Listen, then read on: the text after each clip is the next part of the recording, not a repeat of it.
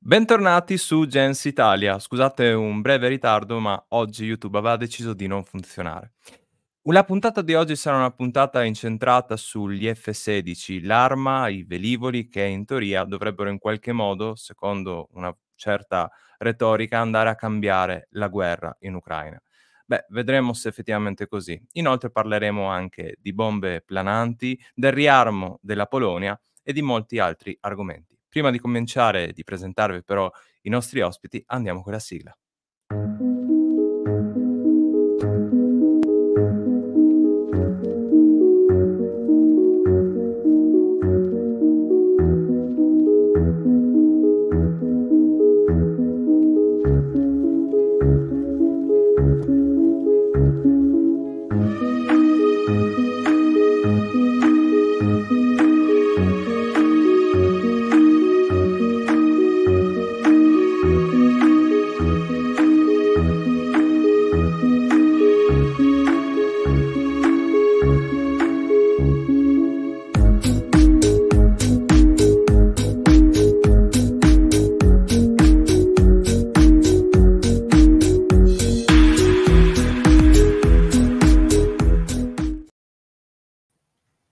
Qua, dunque, benvenuti, benvenuta alla chat. Diamo subito il benvenuto a Leonardo Leantara, think tank di Parabellum, scrittore e anche articolista per quanto riguarda RID, Arturo Giusti, collaboratore del canale, scrittore, Mondo Militare del canale YouTube Mondo Militare e infine Daily Battlefield del canale eh, YouTube Daily Battlefield.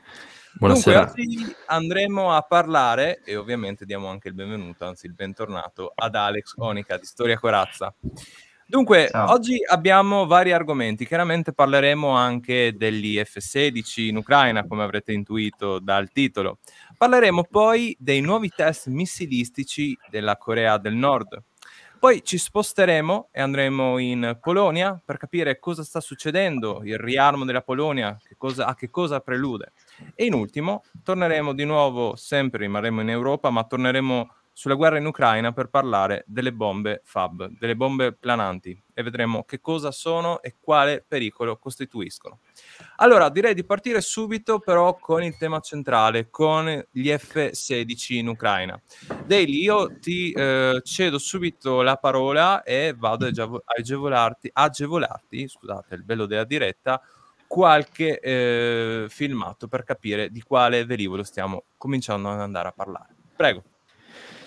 Beh, allora, ehm, prima di tutto vorrei parlare di quanti F-16 potrebbero essere inviati, in quanto comunque se si vanno a cercare delle fonti ci vengono dati tanti numeri, mo- tanti numeri molto diversi e i, le fonti principali indicano che l'Olanda potrebbe fornire circa tra i 14 e i 24 F-16 mentre la Danimarca potrebbe fornire tra i 10 e i 19 F-16, così creano una flotta totale per l'Ucraina tra i 24 e i 43 velivoli.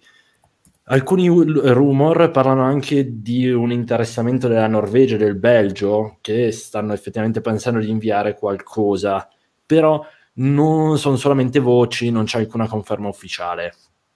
Ehm, per quel che riguarda il quando saranno consegnati, perché eh, si sente ormai da mesi, mesi e mesi che stanno arrivando, verranno consegnati, quando, come, chi, perché.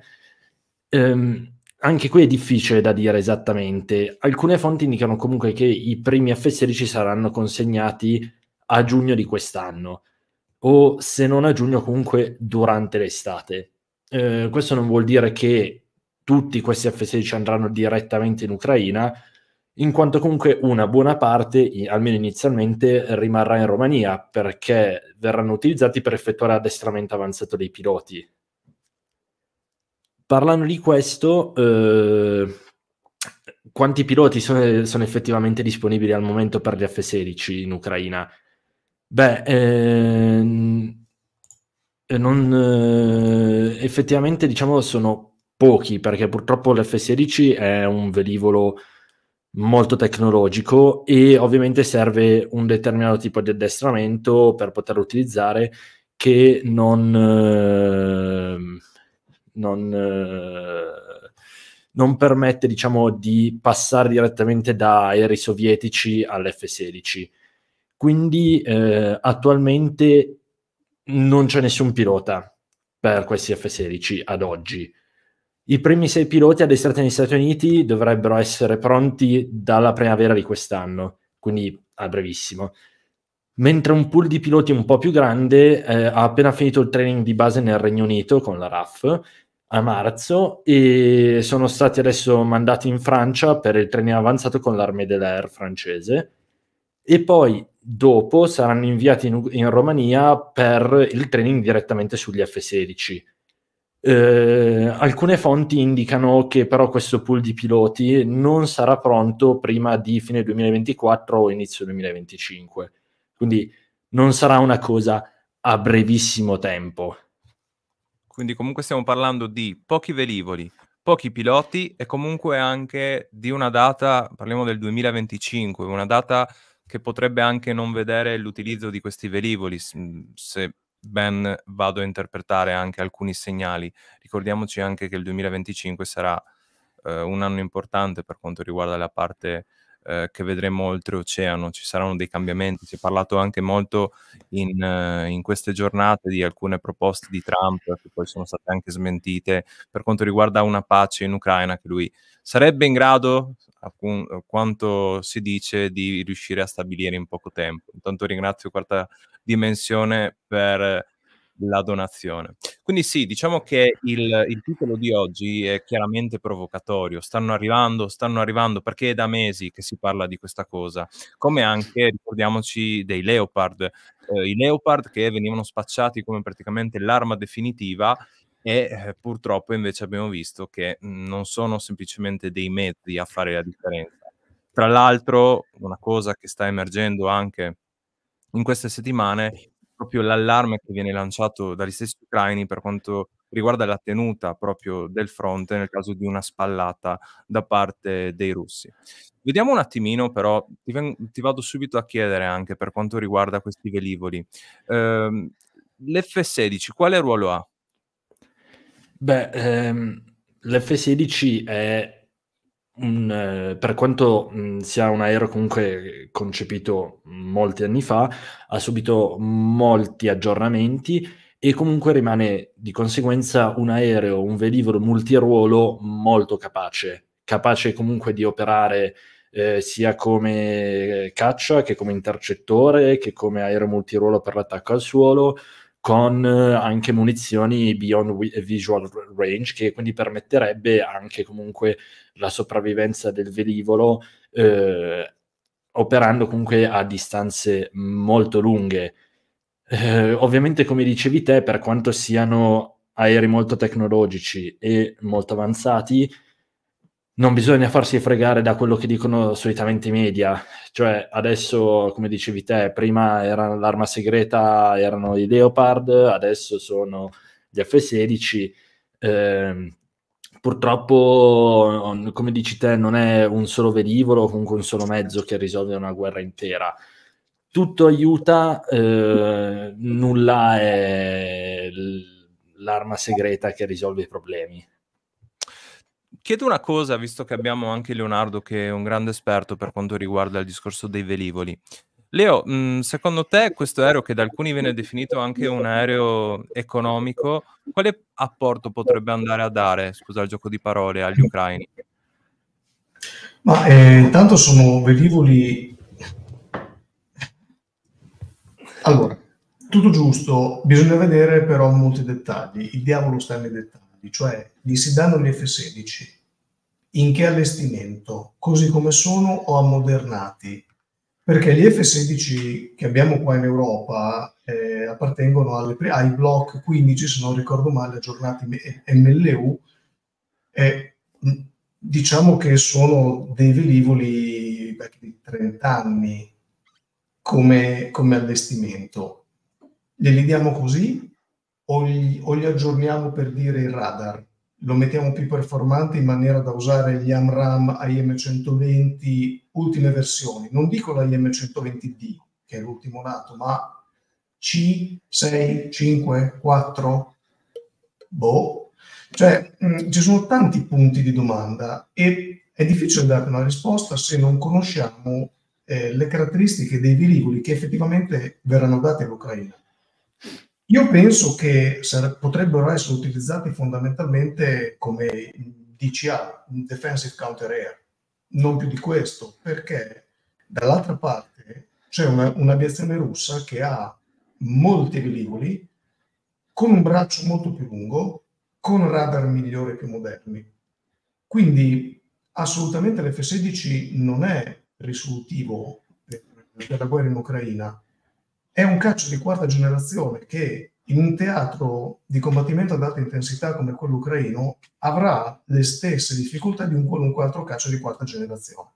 Cioè, se lo dovrà vedere con mm, difese aeree molto strutturate e stratificate, che includono i famosi S400 e 300 e poi scendere, se la dovrà vedere con caccia molto performanti come i Su-35, le Su-35, i relativi missili, incluso l'R-37 che ha lunghissimo raggio lanciato dai MiG-31, ma anche l'R-77 in ultime versioni.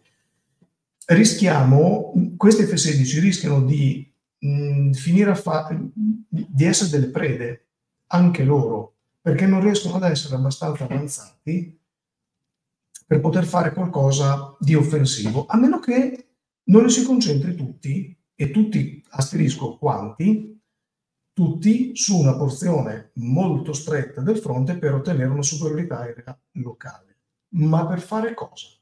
Perché vedete, ad ogni risposta che io cerco di dare, vengono fuori altre domande. Qual è la strategia ucraina adesso? Fare un'altra offensiva? Con quali forze che hanno un problema di manpower infinito? Mm, sono arrivati forse un po' tardi questi F-16. Ammettiamo che arrivino a giugno, come sembra essere o giubilì.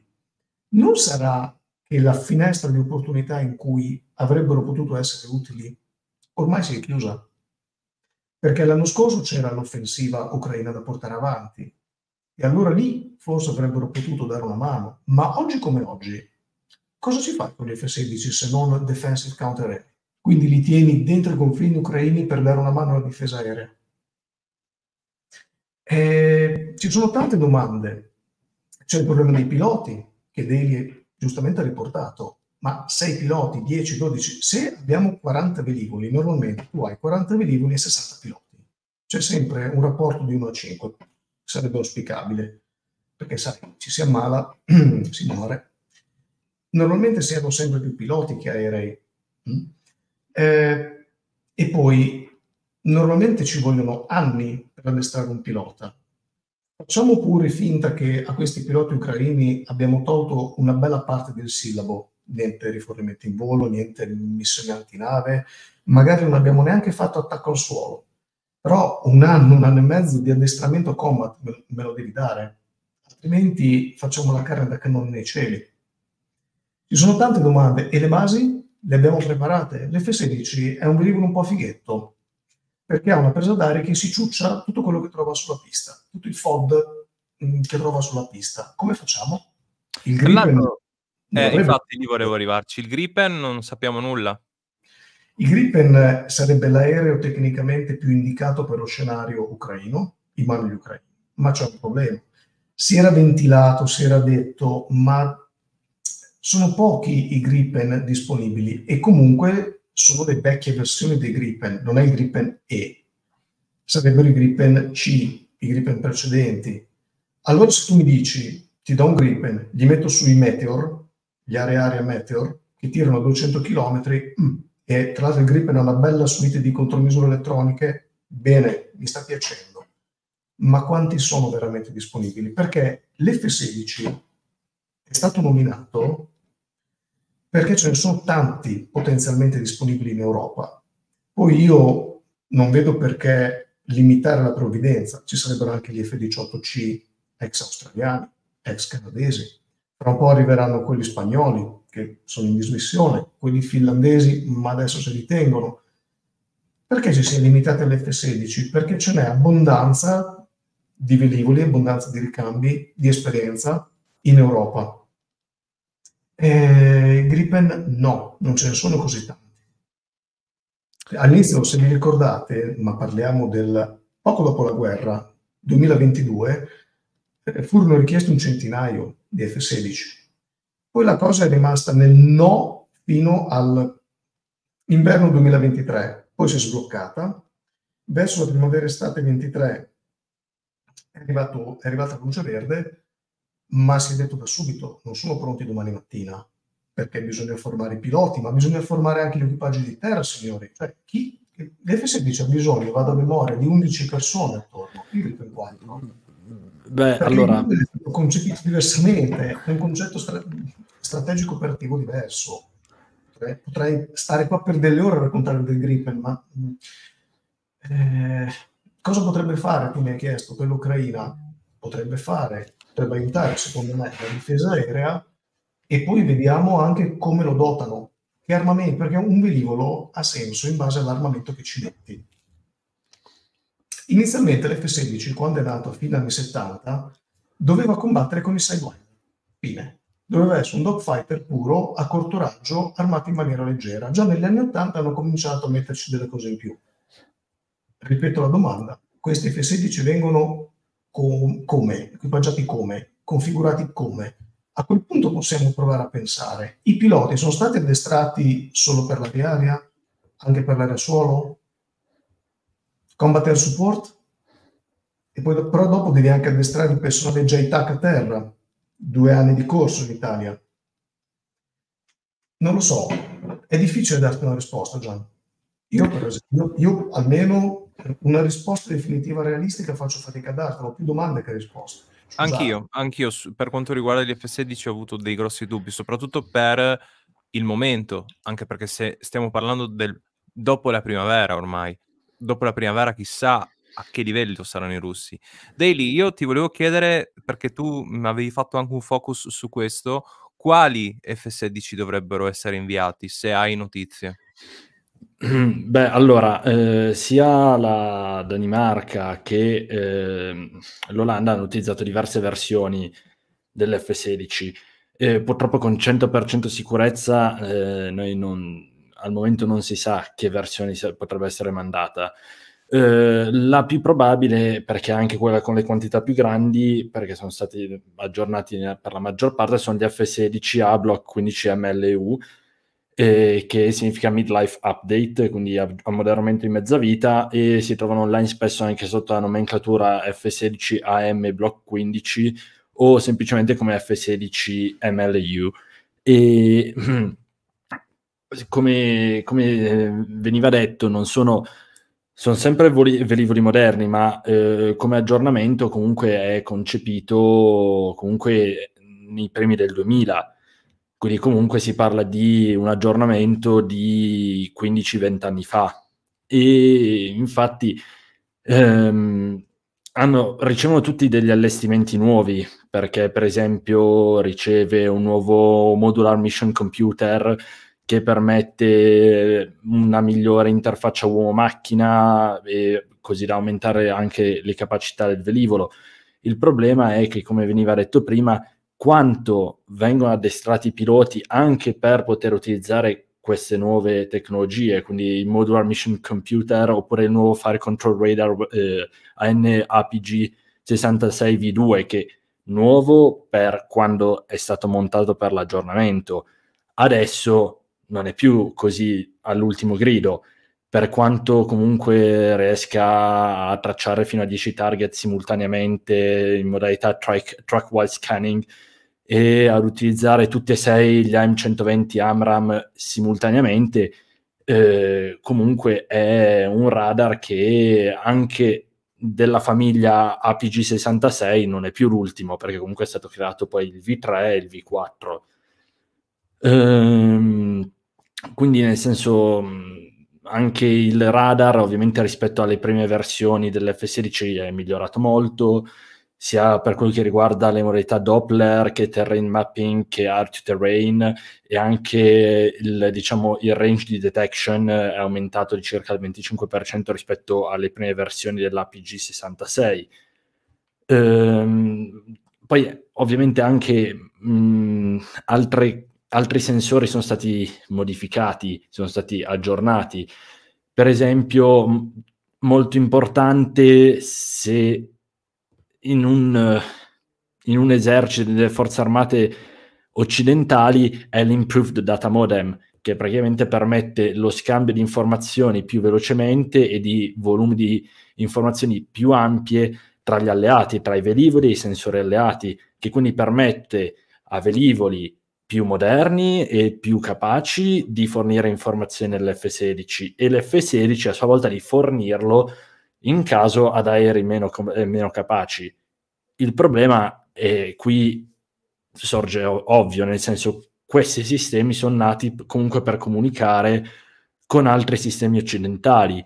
Eh, quanti di questi sistemi occidentali sono attualmente presenti in Ucraina? Quanti sono attualmente utilizzabili? Quindi anche questo, queste capacità che aumenterebbero di molto le capacità di un F-16 eh, vengono un po', tra virgolette, sprecate perché in un contesto come quello dell'Ucraina mh, mm, rimane un po' più difficile riuscirne ad estrapolare il massimo.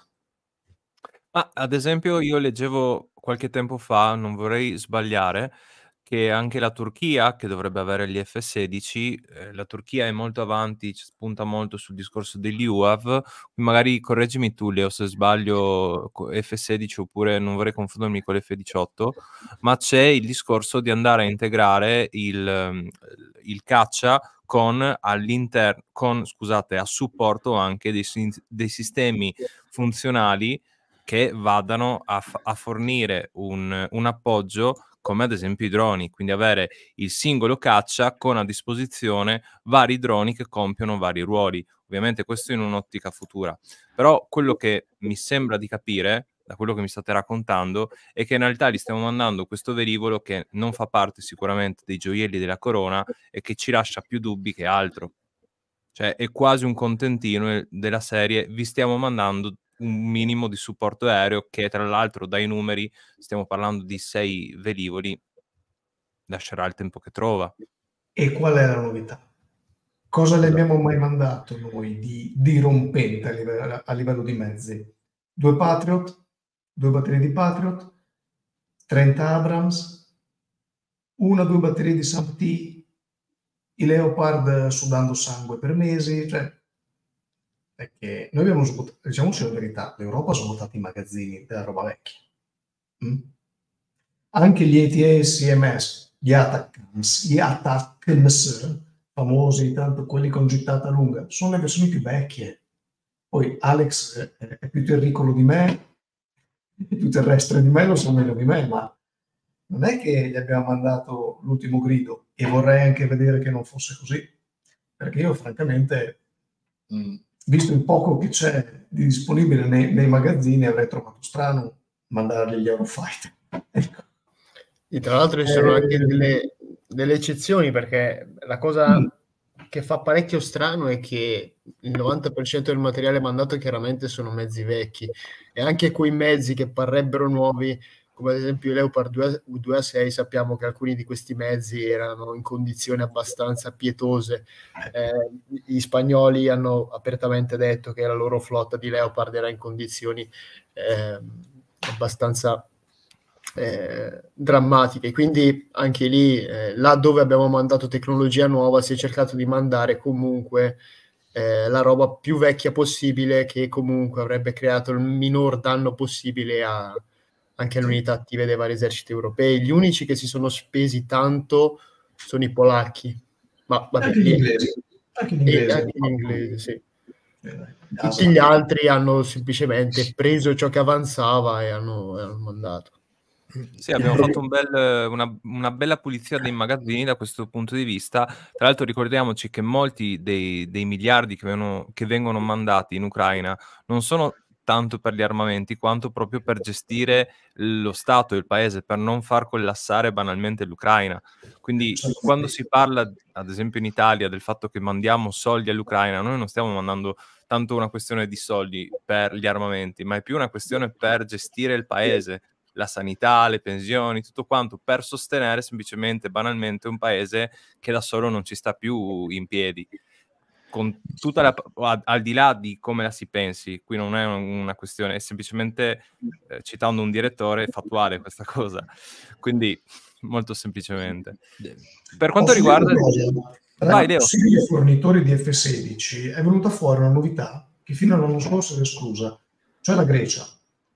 E la Grecia si è svegliata e ha capito che avere una linea di combattimento con F4, Mirage 2000-5, Mirage, eh, Rafale, scusate, F16 di, mi sembra tre block diversi, non è proprio geniale. E quindi se qualcuno ha buttato là in Grecia che forse si potrebbe dare anche un po' dei, degli F16 greci che dovevano essere upgradati al block, credo 70.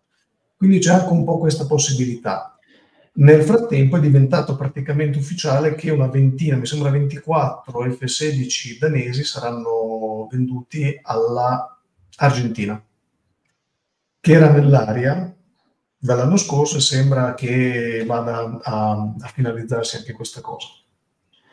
Quindi vedete... Comunque, diciamo comunque secondo me il problema più grande, tornando indietro, che come diceva, come eh, diceva giustamente Leonardo, è che sì, la, la, Grecia ha ventilato la possibilità di prendere i propri F16 Block 50 e upgra- upgradarli alla, al modello, alla versione Block 70, ma il problema più grande che secondo me eh, continua a essere mancato dai principali media è che, eh, giustamente come diceva Leonardo prima, eh, manca tutta una serie di infrastrutture, nel senso, partendo da, dai tecnici, se noi parliamo solamente di, prendendo i dati di alcuni ex tecnici dell'aeronautica americana, per un semplice turnaround dell'aereo, quindi semplicemente a terra viene fatta un'ispezione molto veloce visiva, vengono vengono rifornite le munizioni che sono state utilizzate, vengono riforniti il carburante e vengono fatti di nuovo decollare.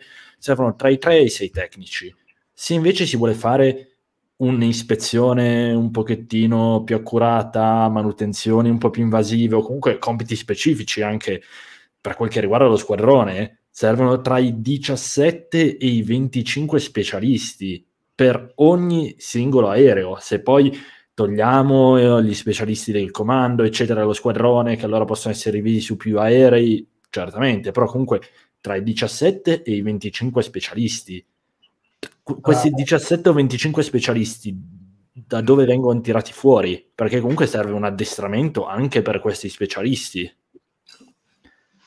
Bravo. E, e soprattutto la cosa che a me lascia più di stucco è che, giustamente, sempre come diceva Leonardo, mh, purtroppo eh, l'aereo sì, è un aereo moderno, un aereo, però fa tanto finché ha delle munizioni, o comunque fa tanto in base anche agli armamenti che monta, perché comunque eh, prendendo l'aeronautica ol- olandese, non è che hanno degli stockpile enormi di armi e molto probabilmente eh, verranno comunque delle, fornite delle munizioni per questi aerei che sono di nuovo probabilmente tra le più vecchie perché comunque gli F-16 eh, olandesi hanno volato per esempio con i Sidewinder della versione AM9N, che è una versione modificata del J, quindi si parla di missili anni 80 solamente a eh, diciamo lock posteriore, oppure anche con gli, potrebbero essere anche AM9L e M, però gli M9L e M c'è uno stockpile bassissimo e l'Olanda ha comprato veramente pochi AM9X per sostituire questi ultimi due. Quindi con cosa vengono mandati? Senza poi, senza poi eh, togliere che eh, sono stati acquistati veramente pochi Amram, ovviamente, soprattutto perché eh, delle versioni vecchie rimane quello che rimane e se non ricordo male hanno comprato la bellezza di 40 Maverick eh, AGM 65G. Quindi Facciamo loro... solo, scusatemi se vi interrompo, perché dopo voglio proprio dedicare un momento agli armamenti anche per riuscire a lavorare per compartimenti stagni e capire meglio la situazione. Però volevo arrivarci partendo da questa domanda, scusami se ti ho interrotto. Perché Antonino Di Vito ci scrive: Buonasera a tutti. L'ingresso degli F-16 sullo scenario di guerra non c'è il forte rischio di un'ulteriore escalation, visto che i russi hanno detto che li abbatteranno anche in territorio NATO. Questa è una notizia che è stata data qualche settimana fa ed effettivamente l'aveva detta Putin. Ora, in realtà Putin l'aveva detta, secondo me, con il suo modo di fare, nel senso del detto non detto, e anche chiaramente in modo tale anche da andare a creare quella sorta di tensione, di quel livello di tensione. Io mi aspetto che chiaramente eh, la Nato in generale non sia così folle da far partire i caccia banalmente dalla, dalla Polonia. Tuttavia, e qui arriviamo al discorso del, dell'armamento, proviamo ad andare un attimino per gradi, perché eh, ad esempio la Germania qualche settimana fa c'è stato il caso dei Taurus che la Germania non vuole inviare per il semplice fatto che i Taurus sono un'arma che potrebbe banalmente essere utilizzata per andare a colpire delle infrastrutture. C'è l'ipotesi di andare a dimezzare la, la capacità operativa del missile, quindi portarlo da 500 a 250 eh, chilometri e dotare l'Ucraina di questa arma. Ecco, eh, l'altro giorno c'era la richiesta da parte di una delle figure chiave dell'Ucraina che diceva dateci quei maledetti proprio testuale, detto, dateci quei maledetti Patriot, abbiamo bisogno dei Patriot, ci stanno massacrando. Ok, quindi anche qui si entra su tutto il discorso anche che forse più di, che mandare armamento eh, come ad esempio i velivoli, si potrebbe pensare anche proprio ad armamento difensivo, anche perché solamente un folle penserebbe di andare ad attuare una nuova offensiva perché sarebbe veramente la morte dell'Ucraina da quel punto di vista, se parliamo strate- strategicamente. Ora, veniamo un attimino al focus sugli armamenti. Cosa ci potete dire, eh, Daily, intanto parto da te, cosa ci puoi dire per l'armamento eh, offensivo di questo, di questo velivolo, dell'F-16? Eh, beh, come dicevo prima, eh, questa versione eh, dell'F-16 può portare una variegata, una, un variegato numero di munizioni. Ovviamente eh, dipende sempre da non tanto quello che può portare, ma tanto da quello che si vuole fornire. Semplicemente perché se io prendo il caso, come dicevo, del, dell'Olanda, eh, l'Olanda da sola, senza prendere troppo in conto ragionamenti politici, potrebbe mandare gli M9N L, M o X, anche se la vedo veramente difficile che vengano mandati degli M9X perché sono veramente troppo avanzati, ce ne sono veramente troppi pochi. Li tiene per l'F35. Esatto, tiene per l'F35. Esatto, sono stati veramente pochissimi ordinati, eccetera, eccetera.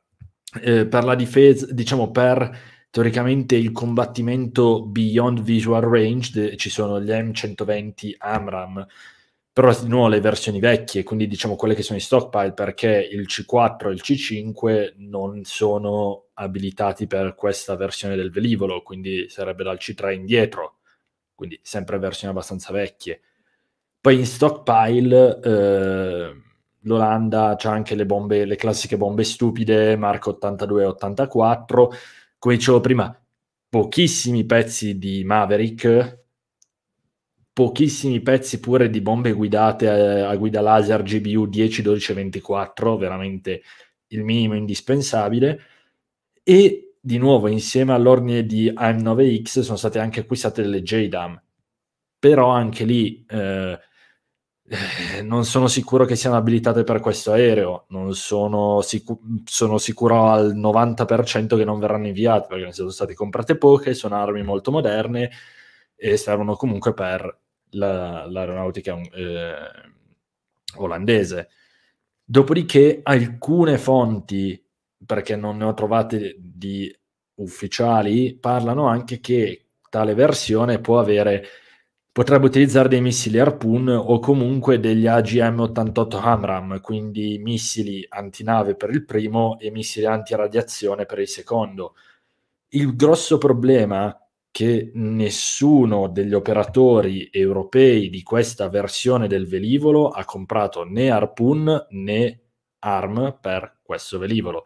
Quindi se probabilmente qualcuna di queste munizioni fosse fornita all'Ucraina, non arriverebbe sicuramente dagli alleati europei, anche perché di nuovo la maggior parte degli stati europei hanno una severa mancanza di munizioni guidate o comunque di munizioni moderne. Poi leggevo anche mh, del problema che, ad esempio, per quanto riguarda le JDAM, ci sono determi- determinati sistemi che sono in grado di andare a disinibire il GPS di questo tipo di bombe intelligenti e quindi di conseguenza se abbiamo a che fare con un, uh, un avversario e parliamo di uh, ad esempio una guerra uh, asimmetrica è, è, un paio di maniche. Invece nel caso in cui ci sia la capacità da parte della controparte di andare a disinibire questo, questo mezzo d'offesa beh diventa di, di, diverso il discorso. Leo ti vedo scalpitante vai. No no no guardavo questa immagine perché questo è l'F16 polacco di una versione piuttosto moderna. Ecco. Non è così l'F16 che riceverà la Polonia, magari. Eh, magari. No, no, ma non è scapitante. Stavo ragionando sul fatto che probabilmente questi F16 in realtà serviranno più che altro a forgiare la, l'aviazione ucraina di domani. Dici per, per quando si dividerà in due l'Ucraina?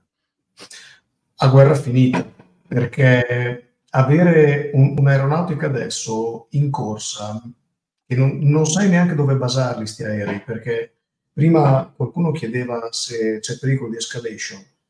Beh, se i velivoli decollano da territorio NATO e operano dentro l'Ucraina, la Russia ha il sacrosanto diritto di colpire le basi della NATO. Cioè, un anno fa, Augusto, Millennium 7, un anno fa forse no, po' meno, ne aveva parlato sul suo canale, aveva fatto uno short e diceva, bene, ma se noi facciamo, dove mettiamo questi aerei? Perché se li mettiamo in Ucraina vanno a fare da bersaglio, prioritario, anche per una ragione di propaganda.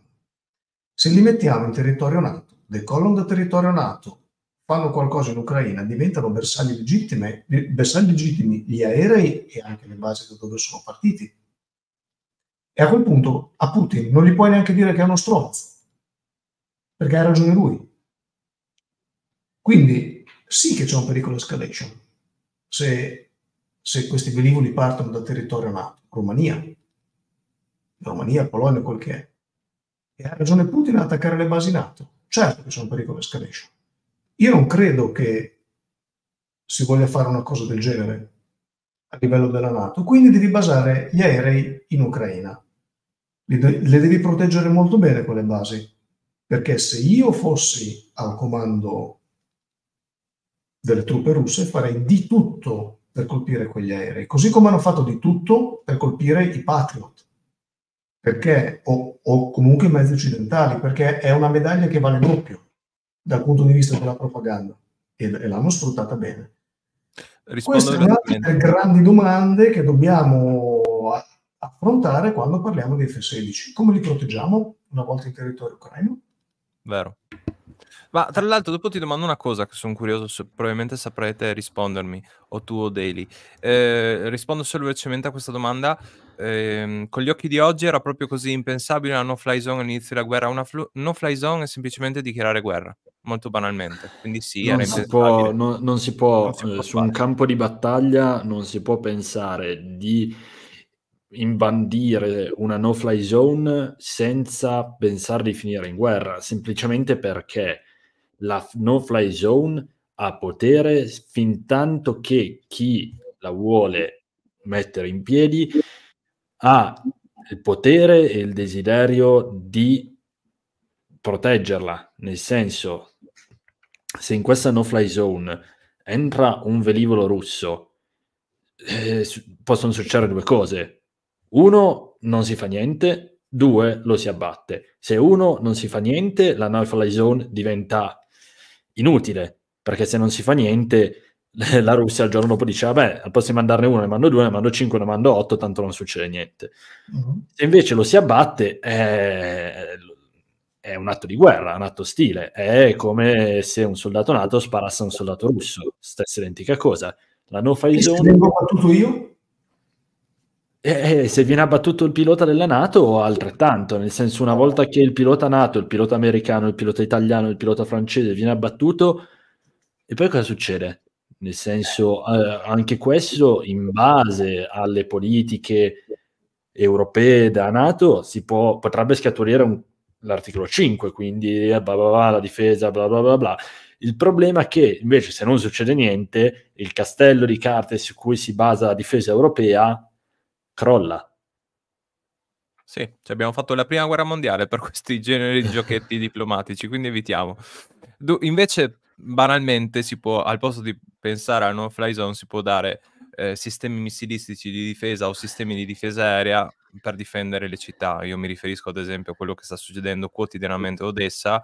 Eh, sul gruppo degli addetti ai lavori abbiamo delle persone che abitano a Odessa e la situazione è drammatica. Ora, eh, Qui su questo canale sapete, diciamo le cose come stanno, eh, quindi non ho nessun problema a dire che la, l'Ucraina sta perdendo la guerra, ma non per questo sono filo russo o filo ucraino. Eh, come dico sempre, io sono filo italiano, quindi questa è l'unica cosa che posso dirvi. Però, banalmente, quando ci sono delle vite di mezzo, beh, penso che bisogna mettersi un attimino la mano al cuore o al portafoglio in questo caso. Chiudiamo sul discorso... Comunque è quello che è stato fatto finora, perché l'anno scorso in molti si disse mandiamogli dei sistemi di difesa aerea, costano meno, questo modo. Eh, ci vuole meno tempo ad estrarre gli equipaggi e assolvono un compito immediato, cioè negare lo spazio aereo ucraino ai russi. Ed è andata bene. La mia obiezione, e ne discussi in una live con, con Anne Cantatore, per esempio, da, da Mirko, disse sì, giustissimo, però attenzione, perché è limitante eh, ti limiti alla difesa, fai catenaccio.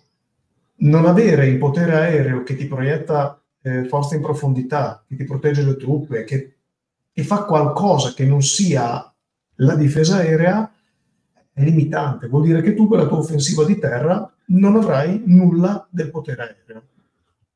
E infatti così fu. Mm, però fu una scelta, cioè non, non puoi avere la moglie piena e la botte ubriaca. La, la moglie, la botte piena e la moglie ubriaca ho dovuto scegliere e io ho paura che in questa fase sia più utile, più dell'anno scorso, avere delle buone difese aeree. Eh, l'aviazione sapeva l'anno scorso, ma obiettivamente non c'erano i tempi tecnici, eh, non, non, non, avevi piloti, non avevi mezzi, non, non, potevi essere pronto per l'offensiva ucraina dell'anno scorso. Adesso Io... hai io chiudo un attimo il discorso sugli F16 perché siamo già assieme 40 minuti su questo discorso e dobbiamo ancora parlarne molto e vi ringrazio perché veramente in futuro potremo continuare a parlarne a lungo, ma veramente dedicando una live intera solo su questo. Ti volevo mostrare, vi volevo mostrare questo qui che è una 50 perché effettivamente, visto che parliamo anche di difesa aerea, ricordiamoci che i russi hanno perso alcuni dei loro mh, appunto prima parlavamo dei, dei gioielli della corona, e beh, questo nonostante non sia un velivolo, una, un'arma di fine di mondo, beh, è un velivolo assolutamente fondamentale per intercettare, per riuscire a capire. Ora, non so quanti ne sono ancora rimasti, ma si parlava molto di questi velivoli perché sono fondamentali per quanto riguarda eh, l'intercettazione e soprattutto avere un quadro generale di tutto quello che è lo spazio aereo e non solo. Correggetemi se sbaglio erano pochi, ne sono rimasti ancora meno perché sono stati abbattuti, alcuni sono andati perduti. Questi sono gli AWACS eh, russi e a differenza della Nato che ha una strategia di proiezione di potenza eh, a distanza, la Russia no, la Russia ha un'aviazione legata alle operazioni terrestri con un'ottica molto difensiva. Ne hanno sempre avuti pochi, così come hanno pochi aerorifornitori. Eh sì, è un problema, è un problema per loro il fatto che comunque dopo l'abbattimento di questi due, perché loro puntavano al A100, quello di nuova generazione, e per fare quello ci vuole un po' più di tempo perché è più complesso, però dopo l'abbattimento degli A50 all'improvviso c'è stato il Shoigu, il Ministero della Difesa, che hanno detto che ok, facciamo gli A100, ma riprendiamo la costruzione anche degli A50 perché facciamo più in fretta e così Ne facciamo due diversi, ma ne facciamo di più e perché ne abbiamo bisogno. Giustamente. Ecco. Bene. Io, Leo, so che dovevi lasciarci, se non sbaglio, quindi io ti ringrazio. Ovviamente sei sempre il benvenuto qui su Gens Italia e alla prossima. Io Grazie invece, grazie a te Ciao. ancora Leo, a presto. Invece passiamo subito al prossimo argomento, ci sposteremo in, eh, in Polonia, ma prima di farlo ci prendiamo 20 secondi proprio di pausa anche per dare il tempo al mondo militare di agevolare il PDF.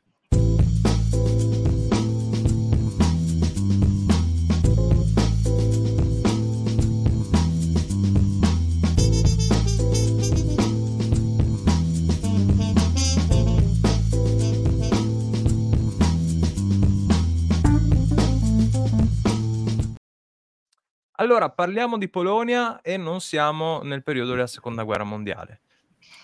Mondo, Sì, ma sempre di Cedo- guerra si parla. esatto.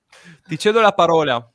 Sorprendeci. Allora, riarmo polacco. Eh, prima si parlava di Ucraina, eh, la Polonia è strettamente legata a tutto quello che sta succedendo ultimamente in Ucraina e eh, ovviamente tutto il discorso riarmo polacco si lega a doppio filo con quella che è eh, la guerra in, in Ucraina.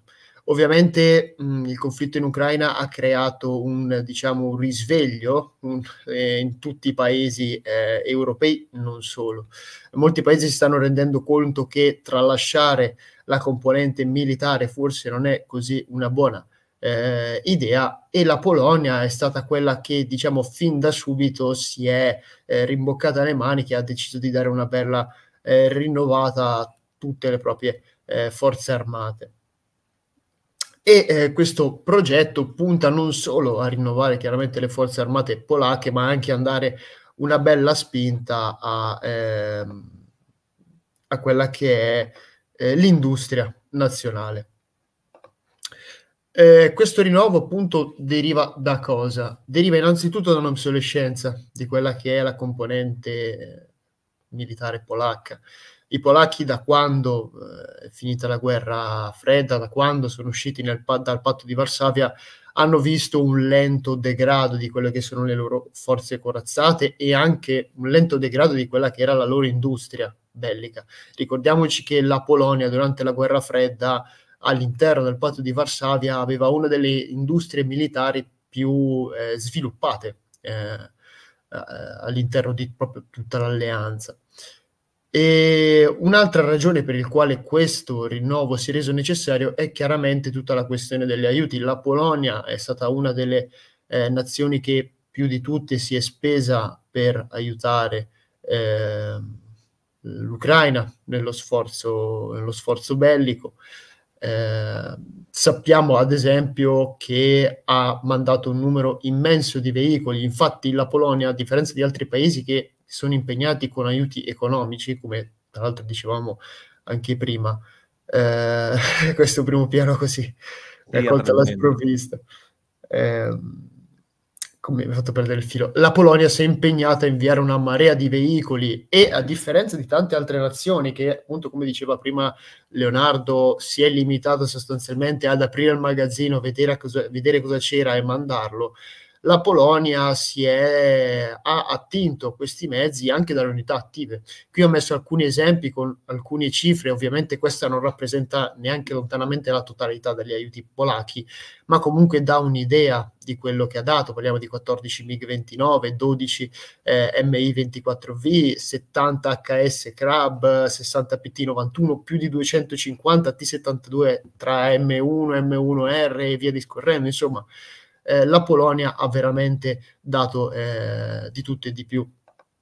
Ma mh, la questione ucraina non è l'unica ragione che ha portato a eh, questo eh, riarmo. Eh, infatti si va anche all'interno di quello che è un discorso strategico allenato, legato alla Nato e ai tempi di reazione. Infatti il programma che la Polonia ha intrapreso per i prossimi anni è relativo allo sviluppo di un esercito che punti eh, molto su quello che è l'aspetto difensivo e ovviamente può sembrare un'ovvietà. In realtà il ragionamento che c'è dietro riguarda quella che è la prontezza della Nato.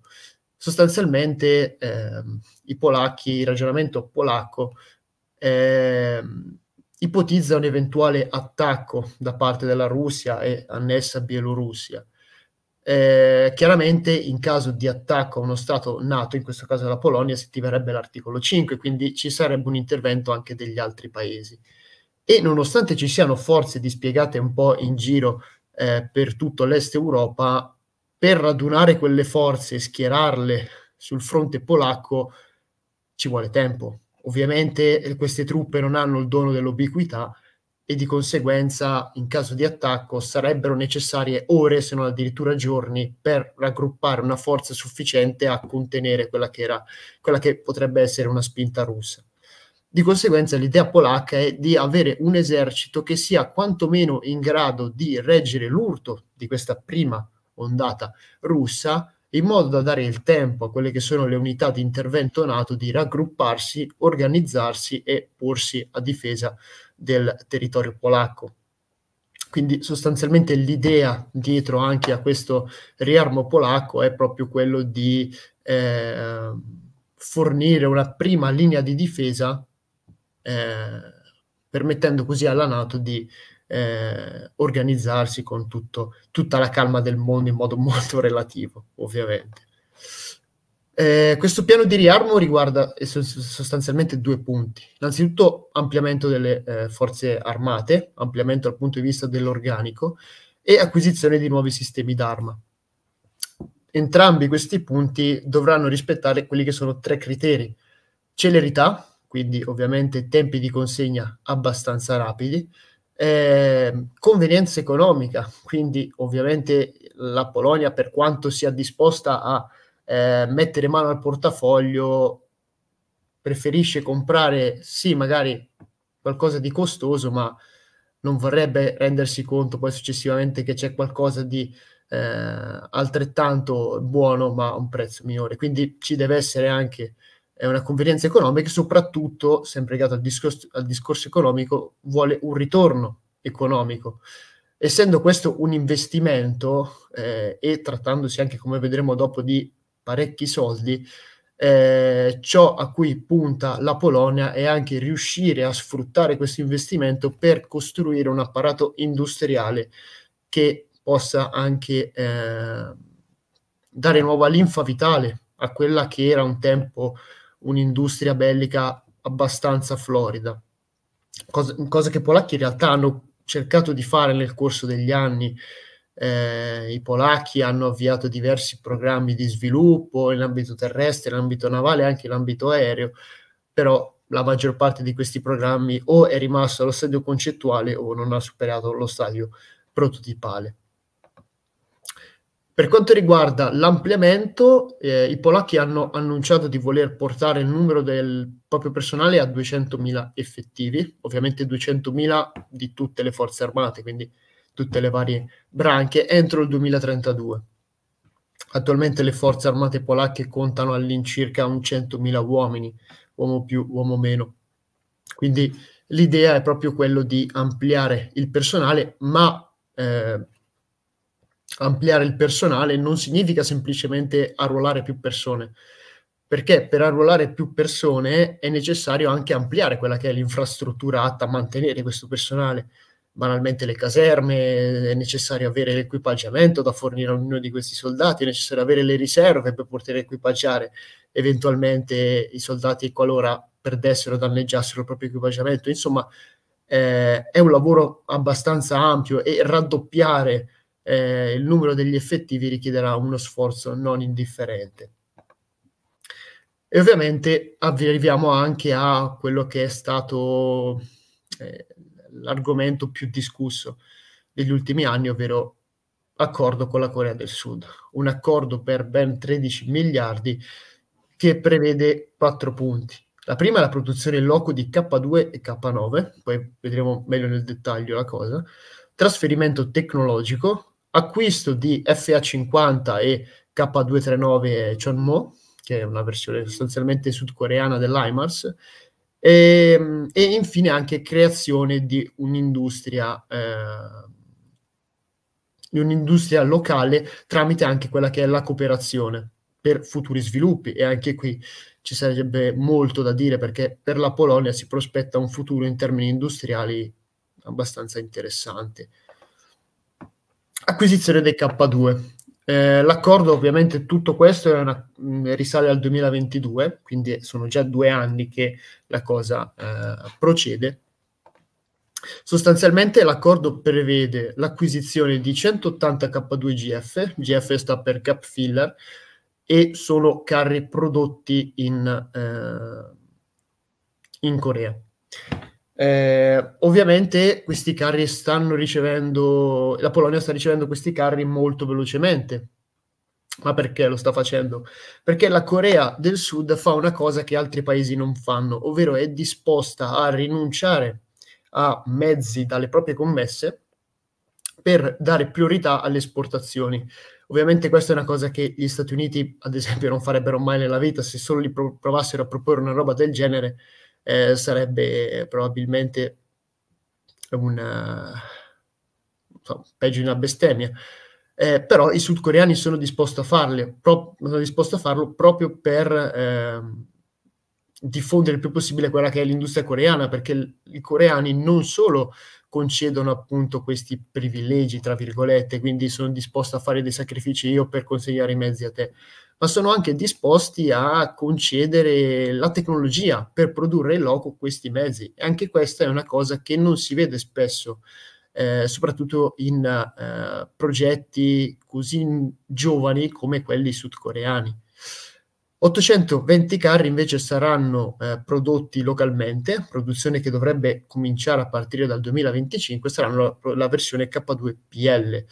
Eh, ovviamente l'immagine è un modellino, non abbiamo attualmente ancora un, un'immagine di un K2PL eh, vero e proprio, però possiamo eh, dedurre che il modello che si andrà a sviluppare sarà sostanzialmente simile al K2EX.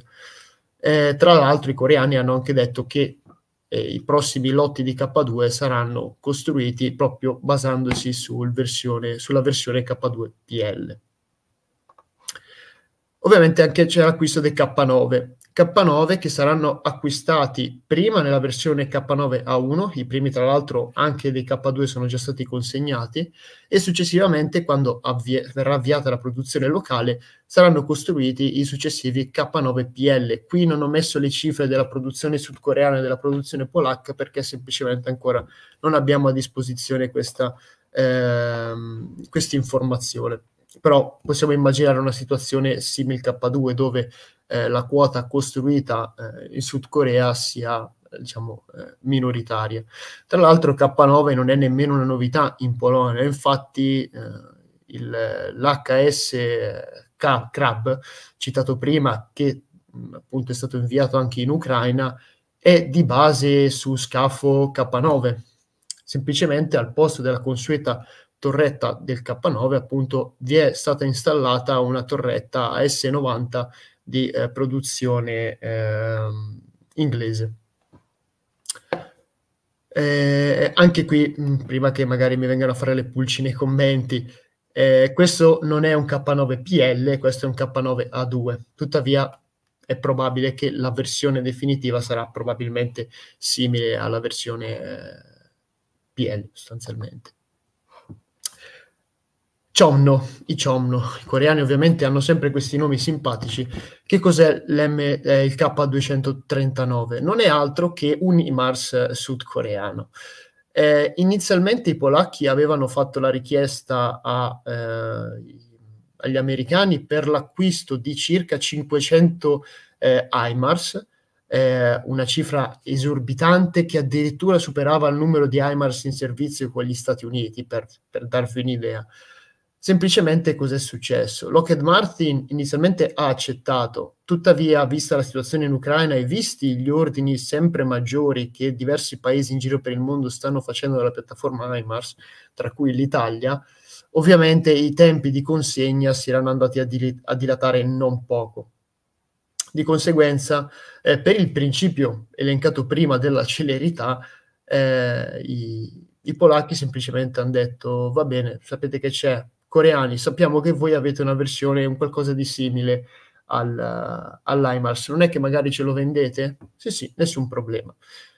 E, e tra l'altro il vantaggio del, del Chomno, oltre ad offrire performance similari all'IMARS, non è esattamente identico, eh, chiaramente è molto più veloce nella consegna proprio perché non ci sono tutti questi ordini della piattaforma se non del, del Roca stesso. I primi... Ma scusa, scusa Mauro che ti interrompo, a livello logistico e anche a livello industriale di, cari- di ricaduta economica, la Polonia qui quale vantaggio avrà? Cioè non si va a creare una sorta di catena logistica troppo lunga se si va a collocare un, un, sistema d'arma preso direttamente dalla Corea del Sud oppure si va a prendere semplicemente i diritti per la costruzione direttamente eh, in Polonia? Sì, ciò che prevede l'accordo non è semplicemente appunto l'acquisto, ovviamente non di tutto quello che vi sto facendo vedere, ma ad esempio del K2, del K9, sarà prevista proprio un vero e proprio trasferimento tecnologico. Sappiamo già che una delegazione coreana si è già recata in Polonia per eh, appunto pianificare quello che è il trasferimento di veri e propri impianti. Quindi la produzione del K2 avverrà esattamente sul modello di quella eh, sudcoreana. Quindi di conseguenza avremmo due linee di produzione, una in Sud Corea e una in Polonia. Ovviamente questo ha un duplice vantaggio.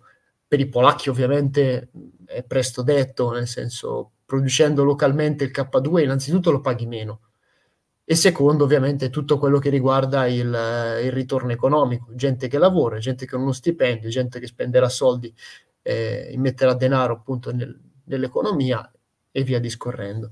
Il secondo vantaggio è per i sudcoreani. Installando un impianto di produzione del K2 in Polonia, rendi il carro molto più appetibile a tutte quelle nazioni che magari in passato avevano espresso un certo interesse per il carro, ma a causa della distanza eh, geografica tra il paese interessato e la Corea del Sud avevano declinato. Un esempio è l'Egitto, ma anche la Romania. Sappiamo che a maggio avverranno i primi test su, proprio in Romania del K2. Quindi eh, questo, questi impianti produttivi sono anche una bella pubblicità per uh, la tecnologia sudcoreana e anche i Chomno perché nel momento in cui le consegne degli HIMARS risultano estremamente lente, eh, avere a disposizione un'alternativa che fa grosso modo le stesse cose in tempi più rapidi risulta decisamente appetibile. E, e questo, la, in questo la Sud Corea sta cercando sostanzialmente di inserirsi. Per quanto riguarda il K9, in realtà è già da parecchio che il K9 si è dimostrato un successo economico, proprio per il motivo che dicevo prima la Corea del Sud, a differenza di tanti altri paesi, è disposta a concedere eh, la tecnologia. Ad esempio, il K9 è costruito in loco in India, è costruito in loco anche in Turchia, eh, lo chiamano il Firtima.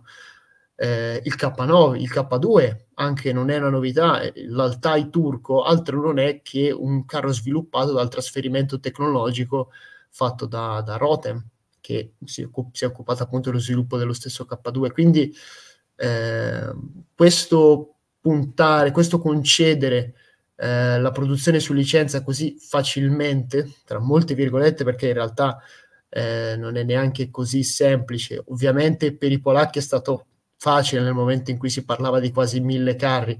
Chi è che si sarebbe fatto sfuggire un'occasione così ghiotta? Se magari la Polonia si fosse offerta di acquistare meno carri, magari non avremmo visto un accordo di, di questa scala. Bene. E... Allora, hai ancora, eh, scusami, non ho visto se hai ancora delle slide, perché io nel sì. mentre, se vedete Vado... che gioco con il cellulare, non sto giocando a Candy Crush, ma mi sto organizzando con gli altri per, per la live, quindi sì, sì, vado... beneficio del pubblico. Vai tranquillo. Vado, vado, spedito, mi mancano giusto le ultime slide che riguarda più che altro vai, l'aspetto del discorso dove hanno preso questi soldi. Ovviamente ci sarà anche l'acquisizione dei 48 FA50. Eh, sono aerei d'addestramento slash light combat aircraft paragonabili agli MB349 italiani per intenderci. Eh, questi aerei dovrebbero andare a rimpiazzare gli MiG-29 e simili ceduti all'Ucraina. Ovviamente non sarà un rimpiazzo 1 a 1 neanche dal punto di vista qualitativo, però comunque rappresentano una, una bella boccata d'aria fresca per un'aeronautica che comunque si basava ancora su piattaforme abbastanza vecchie. E, e poi abbiamo la questione Abrams. Ora, perché hanno deciso di comprare Abrams e K2 insieme? C'è una ragione in realtà c'è una ragione eh, di tipo operativa, nel senso che agli occhi dei polacchi K2 e Abrams avranno ruoli diversi. E questo lo si capisce soprattutto da come verranno distribuiti all'interno delle unità. Gli Abrams infatti saranno eh, consegnati alla diciottesima divisione meccanizzata, e verranno schierati sostanzialmente eh, a metà strada tra il confine bielorusso e Varsavia. E se voi andate a vedere una cartina geografica noterete subito che quello è un territorio praticamente aperto, non, esiste, non esistono ostacoli geografici, è pianura, pianura e ancora pianura. E ovviamente in un ambito, in un territorio come quello, il peso innanzitutto del carro comincia ad essere meno problematico perché se in pianura non hai grosse difficoltà nel muovere il mezzo. In secondo luogo, essendoci anche pochi ripari per i mezzi in sé, avere un carro con una buona eh, corazzatura aiuta. E in questo l'Abrams è sostanzialmente il campione perfetto. Pesa quanto pesa eh, una marea ed è ben protetto. Quindi perfetto mentre i K2 dove saranno schierati? A nord, al confine con Kaliningrad. Perché proprio lì? Beh, quello è un territorio, anche qui, se voi andate a vedere la cartina, territori con già una mh, mm, quantità maggiore di ostacoli naturali, in particolare fiumi, corsi d'acqua, torrenti. E il K2 in questo diciamo che si trova perfettamente a suo agio. Infatti i eh, sudcoreani quando svilupparono il K2 tennero proprio in considerazione l'enorme quantità di corsi d'acqua che si trovano eh, nella penisola eh, coreana, motivo per cui eh, in addestramento è prassi comune appunto fare guadi di fiumi eh, con, eh, con i K2. Quindi l'idea di base è proprio quella, due carri diversi per due ruoli operativi eh, diversi. E infine arriviamo anche all'altra domanda, eh, l'ampliamento anche del budget, perché anche quello è un elemento importante. Eh, sappiamo che infatti esattamente proprio lì sotto, ora mi ero segnato anche il nome della città, ma è un nome impronunciabile, quindi non ti preoccupare, te lo, facciamo, te lo facciamo andare bene, lo faremo andare bene, tanto insomma, penso che Merga- Mergavovo nessuno se lo ricorderebbe, ad esempio, quindi andrà benissimo così. Eh, dicevo, per quanto riguarda le spese militari, parliamo di un aumento di quasi il 46% delle spese militari rispetto al, tra il 2022 e il 2023. Questo anche ci spiega il perché abbiano investito, si siano potuti permettere tutti questi eh, programmi. Eh, anche qui vediamo non solo che la Polonia è uno dei pochi, uno dei pochi paesi in, uh, della Nato ad aver superato il uh, famoso livello del 2%, quindi il 2% spesa militare rispetto al proprio PIL, ma punta anche a raggiungere nei prossimi anni il 4%, che è diciamo un budget eh, di tutto rispetto. Ovviamente questi soldi però da qualche parte dovranno essere presi. E qual è il modo più facile per ottenere soldi? Debito pubblico. Infatti, eh, per quanto tutti questi progetti sembrano interessanti, va anche sottolineato che eh, da oggi al 2027 la Polonia accumulerà un debito di circa 314 miliardi di zloty. Eh, tradotto in dollari sono 71 miliardi di debito pubblico che sono una bella cifra, ma non c'è solo questo, soprattutto per quanto riguarda l'accordo coreano, eh, i, i, polacchi hanno fatto ricorso a quello che è anche il prestito della banca coreana che ha concesso loro dei crediti per appunto l'acquisto di queste piattaforme. Quindi sì, la Polonia sta spendendo tanto, la Polonia si sta armando fino ai denti, ma deve anche stare attenta perché se non riesce a gestire bene tutta questa, eh, tutta questa situazione rischia parecchio dal punto di vista economico e finanziario. A corollario, diciamo, anche va detto una cosa, adesso c'è stato il cambio eh, al governo, è arrivato Tusk e a quanto pare comunque ci sarà anche un sblocco abbastanza importante eh, di miliardi che aveva accumulato la, la Polonia in, a causa della contrapposizione delle politiche interne che andavano contro, diciamo, quelle europee, di conseguenza c'è questo sblocco di miliardi in cambio di politiche interne eh, più favorevoli allo Stato di diritto, usando una parola non propriamente sì. giusta, eh, europeo, diciamo. Una cosa sì. quindi potrebbe attenuare. Dicevi, scusa Mauro? No, che proprio per concludere c'è anche da dire una cosa.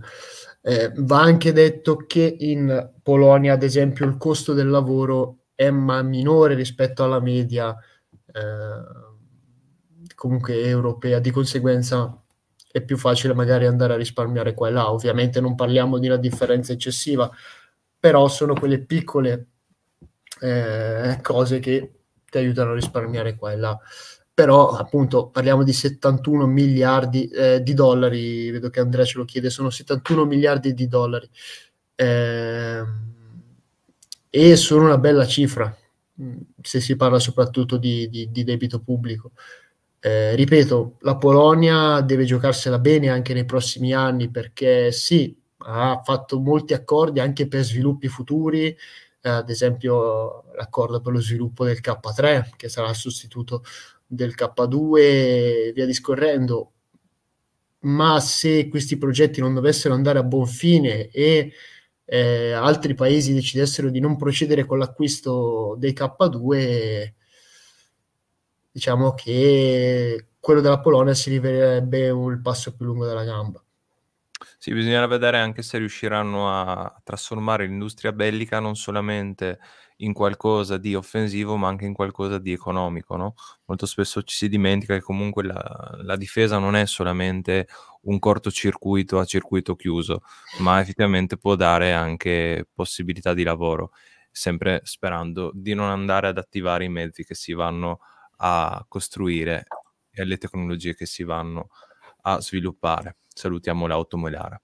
Bene, allora, prendiamo ragazzi, una vi devo salutare anche perché sono, ahimè, stanco morto una giornata di lavoro devastante. Quindi... No, grazie a te perché appunto ricordiamo sempre che quello che facciamo per il momento lo facciamo gratuitamente. Quindi ringrazio ancora una volta Mondo Militare, ma tutte le persone che sono qui eh, in questo spazio, in questo canale. Non abbiamo ancora nessuno sponsor e non abbiamo ancora aperto nessuna società. Quindi gli unici sponsor siete voi. Lasciate un like, condividete il video.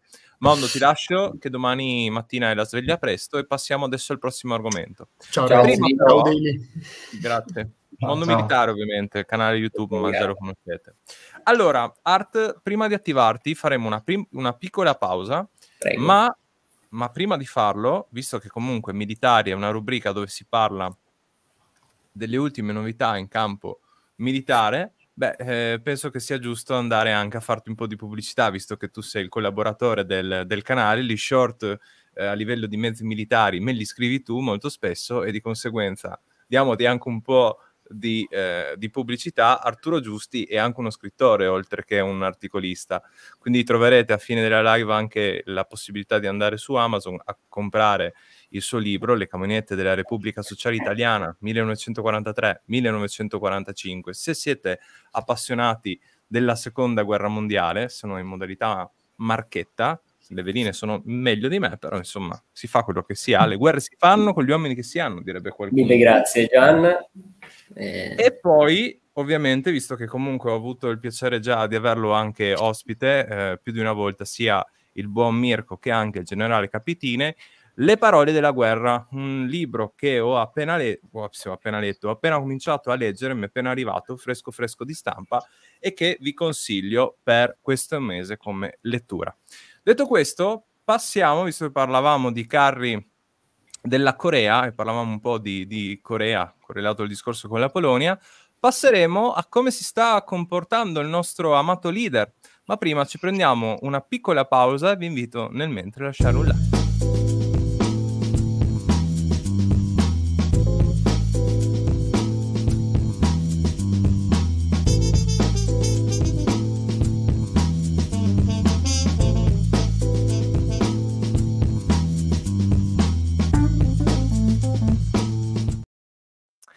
Ed eccoci qua con l'amato leader.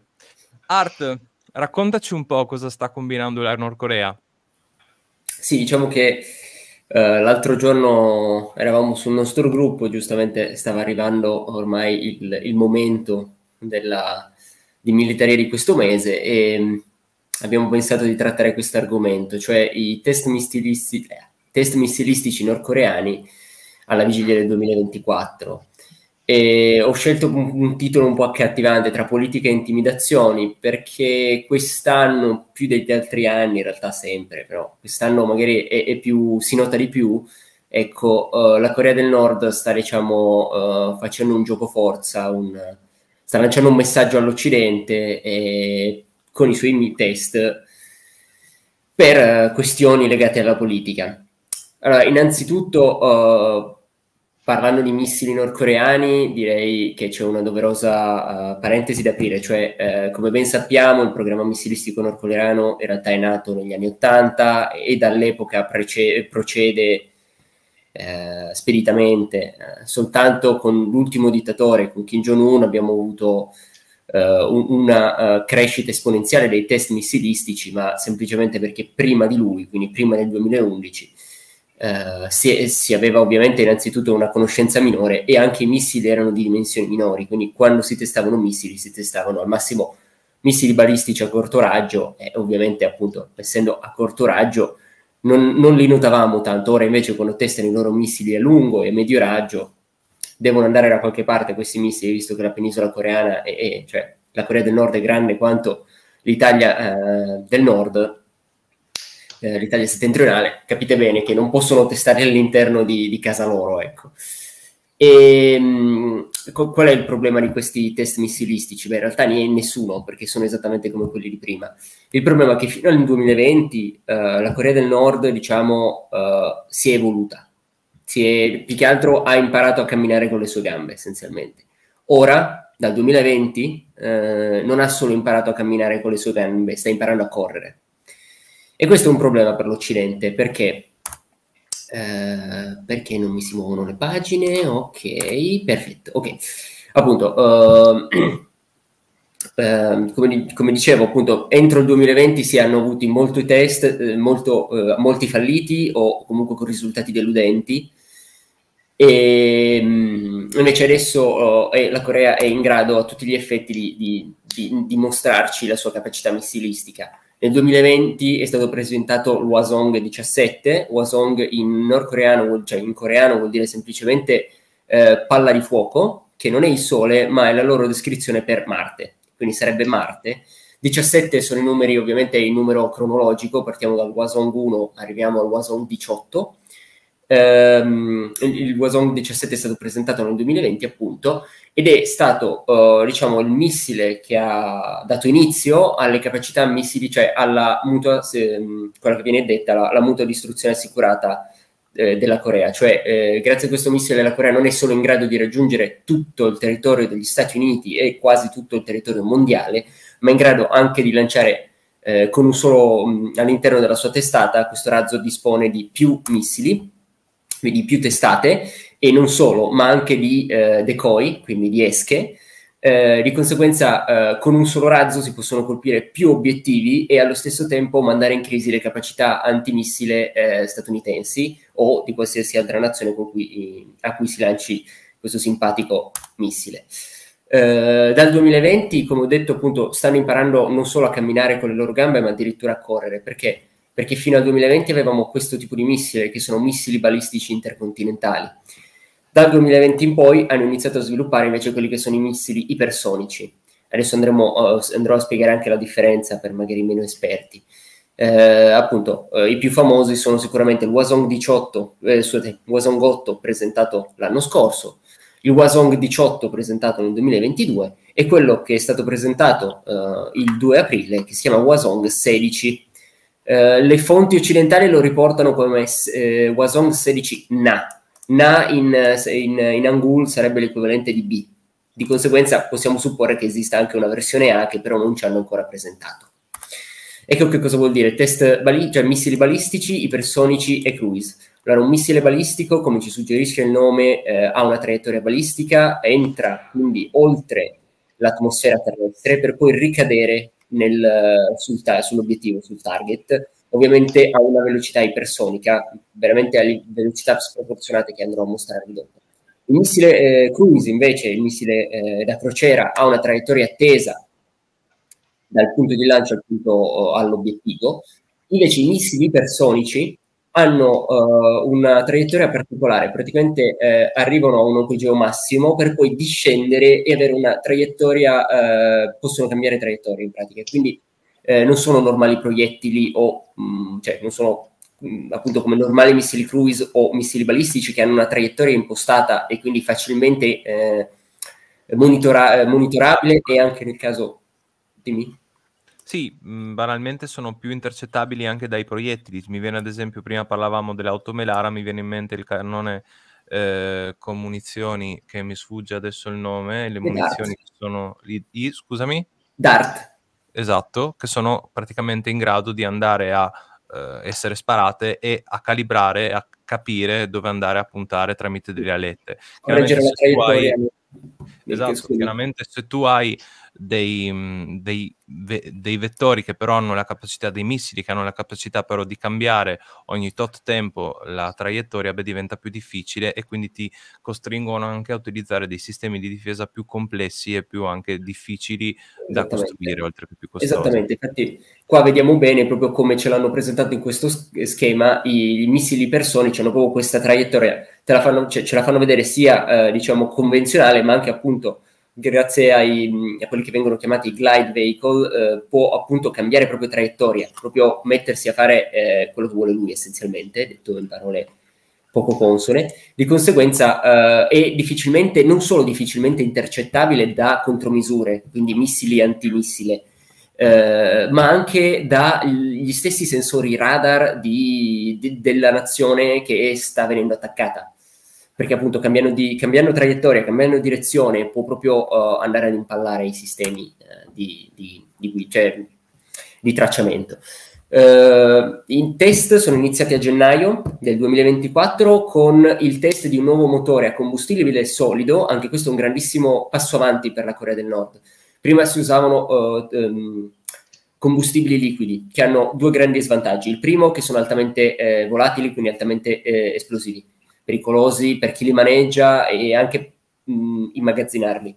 In secondo luogo, un missile eh, balistico o un qualsiasi tipo di missile a combustibile liquido, appunto eh, per la pericolosità del combustibile, viene rifornito poco prima di essere lanciato. Ovviamente, quando si tratta di un piccolo missile, come magari penso agli Scud eh, sovietici come l'Elbrus, l'R-17 o altri tipi di missili comunque di piccole dimensioni, eh, il rifornimento può durare pochi minuti eh, quando pensiamo a un missile magari che può, può raggiungere gli Stati Uniti, beh, eh, il rifornimento può durare anche delle ore. Di conseguenza, ovviamente, nazione, cioè, eh, i missili spia, eh, cioè, scusatemi, i satelliti spia avversari possono tranquillamente notare questo, questo movimento, questo rifornimento e rispondere prima ancora che il missile venga lanciato.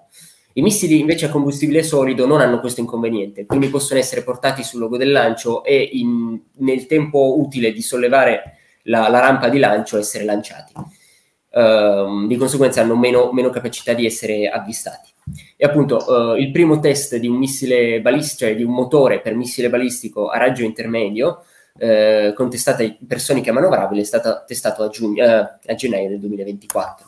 Sempre a gennaio abbiamo avuto il test del primo missile eh, a medio raggio, appunto con testata ipersonica manovrabile, eh, di cui però non sappiamo ancora nulla in realtà di questo prototipo, di questo esemplare, infatti l'abbiamo soprannominato IRBM-2. IRBM è la sigla in inglese di missile balistico a, medio, a raggio intermedio ovviamente.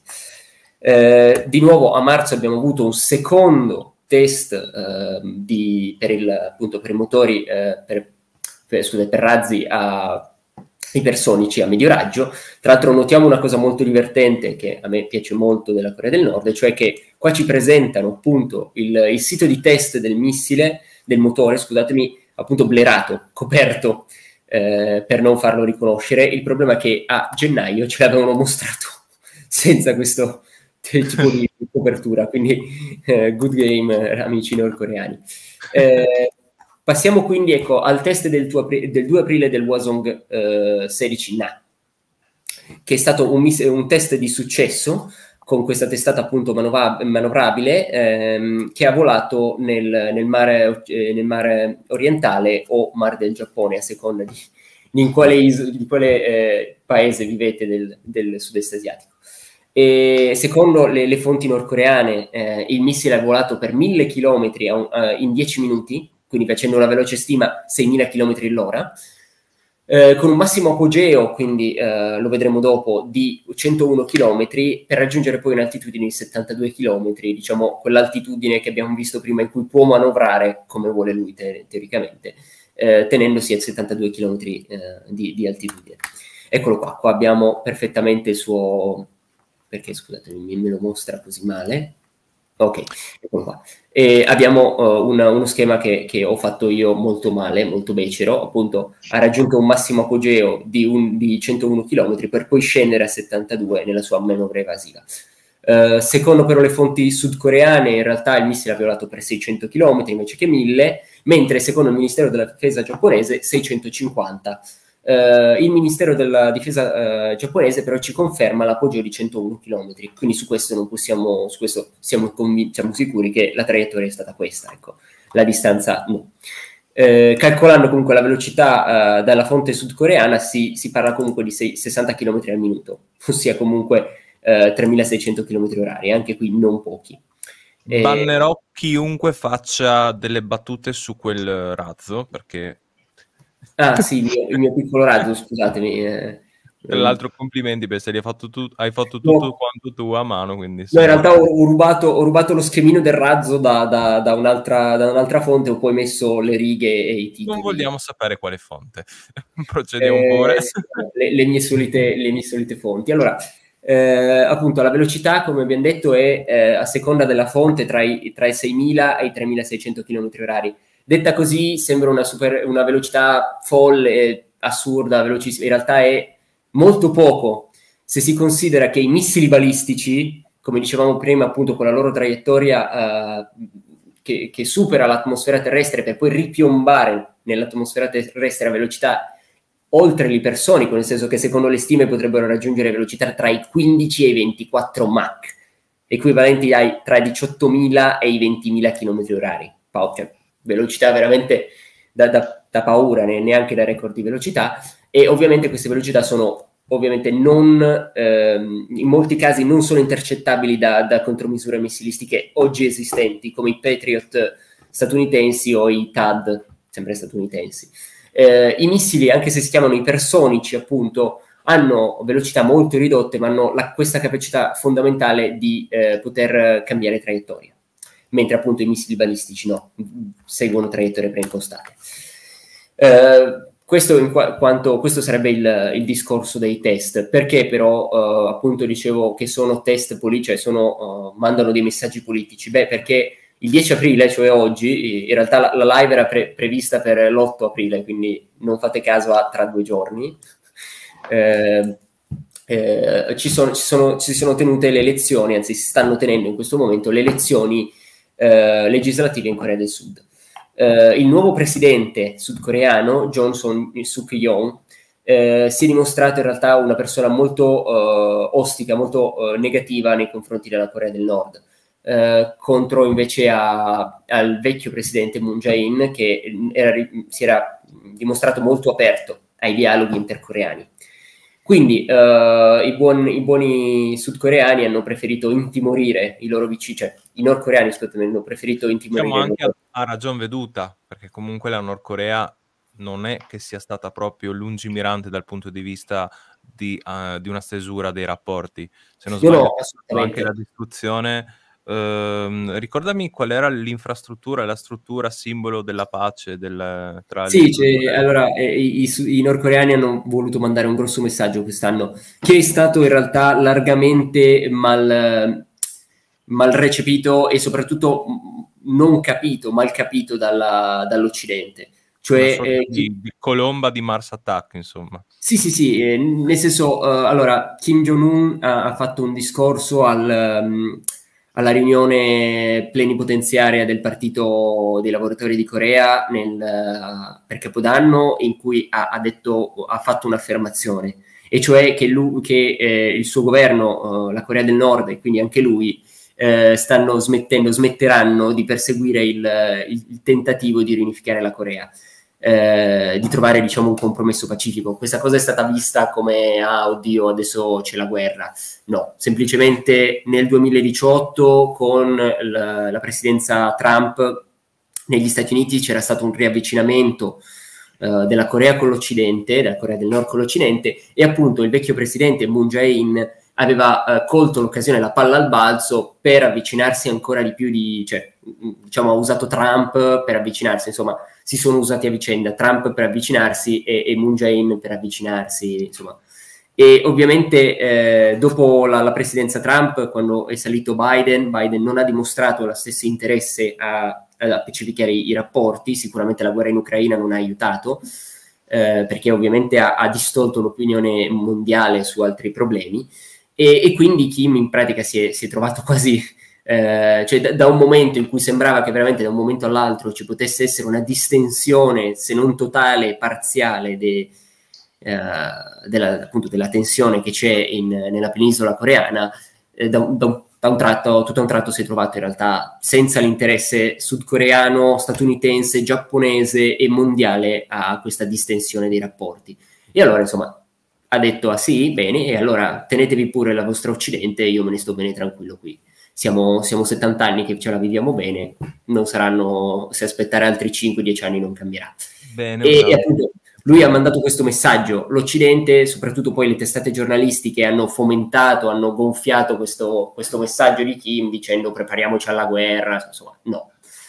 E appunto, quindi di nuovo questo nuovo presidente, appunto John Seok Suk Yol, ha appunto mandato questo messaggio in cui dice a me non me ne frega niente, io non sono Moon Jae-in, continuerò a perseguire la lotta dura, eh, il pugno di ferro con, con te, Corea del Nord. E, e, Kim ha voluto, insomma, mandargli un regalo per le, le, le, elezioni legislative, appunto con questo test. Il secondo, sicuramente secondo più, probabilmente più interessante motivo per cui hanno fatto questo test, molto probabilmente, è che il 26 marzo, uh, in un comunicato ufficiale, Kim Jo-jong, la sorella di Kim Jong-un, ha, mandato, ha, ha fatto sapere eh, al mondo che il primo ministro giapponese Fumio Kishida Uh, aveva intenzione, uh, ha proposto un summit di, uh, di pace tra la appunto, Corea del Nord e il Giappone. La, la, Corea in realtà ha risposto in un primo momento in realtà molto positivamente, per poi subito, quasi lo stesso, cioè in realtà a distanza di 24 ore, mettere diciamo, i puntini su lei. Cioè ha messo delle importanti limitazioni a, a questo summit, perché sappiamo tutti che cosa vuole, cioè il Giappone voleva sicuramente avere, fare delle richieste e i, i, nordcoreani hanno subito messo le mani avanti e gli hanno detto se vuoi dirci eh, di smettere di testare i nostri missili, no. No, non ci provare neanche, a, lo, secondo il loro, loro, punto di vista loro hanno il diritto di, di, di, fare questi test, quindi dicono se verrete a dirci non fate questi test, eh, non venite neanche in pratica. E un'altra cosa però fondamentale è che in realtà i giapponesi, cioè mh, il, l'azione di Kishida non è altro che un gioco politico. In questo momento uh, sta perdendo consensi in Giappone, suo, lui e il suo governo. Di conseguenza, uh, qual è il, il, problema più grave del Giappone in questo momento? Sono la Cina e la Corea del Nord, ovviamente. La Corea del Nord però è molto più pericolosa, visto che la Cina in questo momento è molto più concentrata su Taiwan e sull'Ucraina. E quindi eh, ovviamente distendere le relazioni porterebbe sicuramente a una calma relativa in Corea del Nord, in, in Giappone, nel senso il giapponese medio si sentirebbe più tranquillo, quindi ovviamente eh, Kishida e il suo governo avrebbero sicuramente più possibilità ne, alle prossime elezioni. Quindi sia chiaro che in realtà Kishida ha solo un proposito, o comunque una buona parte, del, in, in massima parte un, un proposito politico, più che eh, in realtà di vero interesse verso, verso, una pacificazione con la Cina, con, con la Corea del Nord, scusate.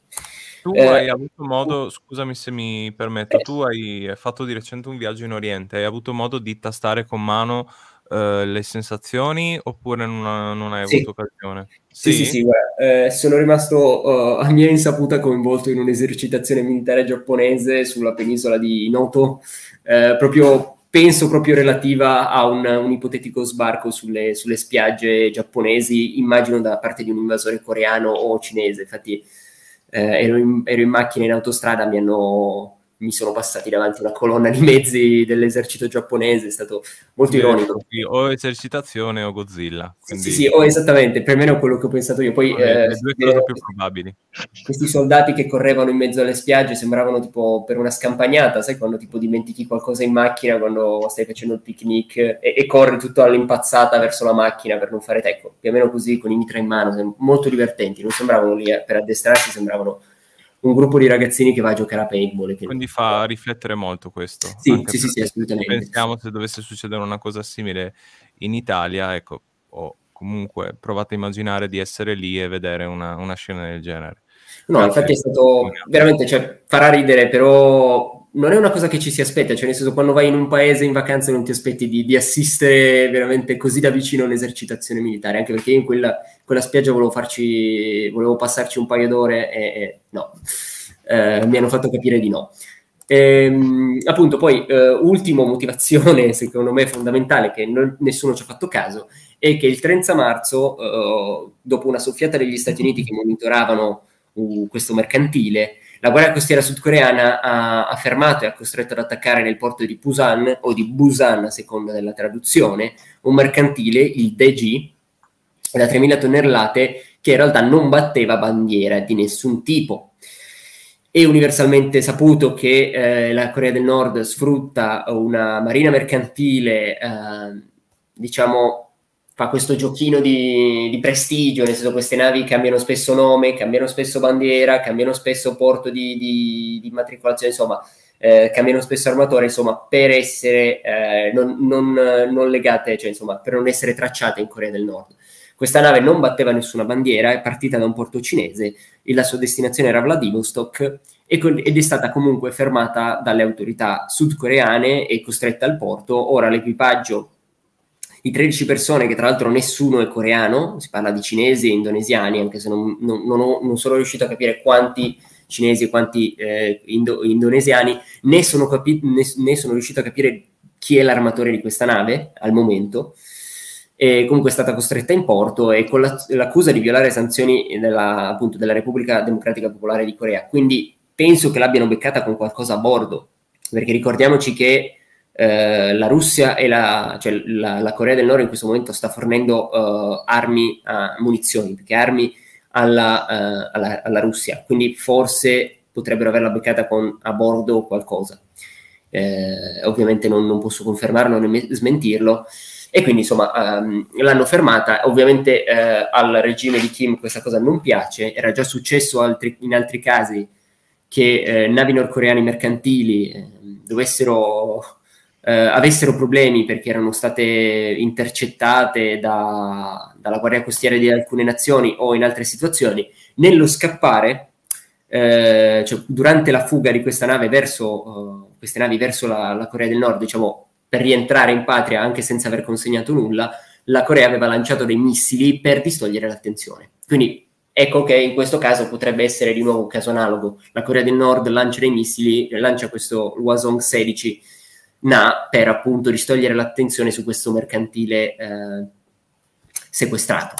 Sì, in Asia è molto interessante il discorso che hanno i mercantili, eh, i traghetti, tutta la parte, la componente civile che viene praticamente plasmata anche per andare sì, a creare una sorta di naviglio supplementare di ausilio in caso di conflitto e non soltanto uh, perché... Sì, sì, sì, vedevo tra l'altro qualche, qualche giorno fa, uh, in realtà sia i cinesi che gli iraniani, a mia sorpresa in realtà, eh, stanno te- usando mercantili, vecchi mercantili che adesso non usano più, praticamente come piattaforme fisse in mezzo al mare dove testano i missili balistici o comunque altri sistemi d'arma. Non, non so, onestamente non, ho, non sono molto pratico. C'era, prima, prima c'era Leonardo Leanzara, ne approfitto per consigliarvi, ha fatto una serie di live sul canale di, di Mirko di Parabellum eh, dove potete andare a approfondire questo discorso. Eh, c'era anche il buon Giulio di Italian Mili- Military Archives, potete andare se vi interessa anche ad approfondire questo discorso perché la guerra navale in Asia è molto particolare, anche come viene combattuto, anche tramite l'utilizzo di navi pescherecce, navi pescherecce, pescherecce non si può sentire, scusate, l'ora, dei pescherecci che vengono praticamente utilizzati come piattaforme mobili e vanno a creare quasi delle isole galleggianti, se vogliamo. Sì, sì, sì. Il Vietnam soprattutto usa vecchi, vecchie navi da sbarco, se non mi sbaglio, risalenti alla seconda guerra mondiale, quelle che usavano nel D-Day. Eh, ne usa una in particolare la, la affondata in un, su un fondale abbastanza basso vicino a un'isola che è contestata tra Cina e, e Vietnam e la usa essenzialmente come fortino in mezzo all'oceano quando le navi eh, cinesi si avvicinano un po' troppo, insomma, la possono usare. E, ehm, no, comunque, tra l'altro, sono, uh, tornando al mio, al mio, viaggio in Asia, sono stato uh, a visitare a uh, Yokohama il museo della guerra costiera giapponese, che è famoso perché contiene appunto i resti di un vecchio mercantile, di un vecchio peschereccio nordcoreano che è stato affondato nel 2001 e questo era un peschereccio armato, eh, possedeva vari tipi di armamento nascosti in eh, degli scompartimenti.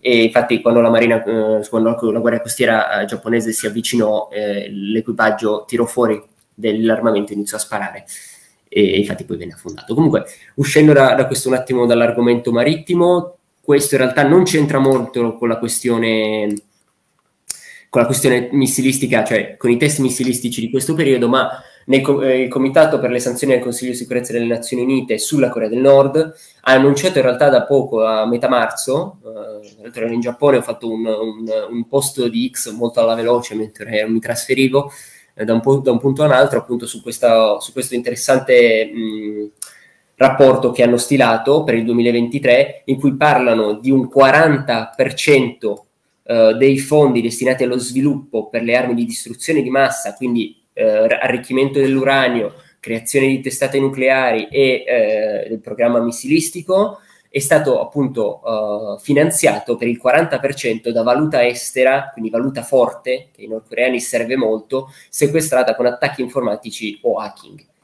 Insomma, eh, stiamo parlando veramente di un numero esponenziale. Mi pare che si, si stimasse questa cifra intorno ai 750 milioni di dollari veramente non noccioline, considerando che veramente tutti questi soldi li hanno praticamente avuti a zero, cioè non hanno dovuto fare niente se non fare degli attacchi informatici.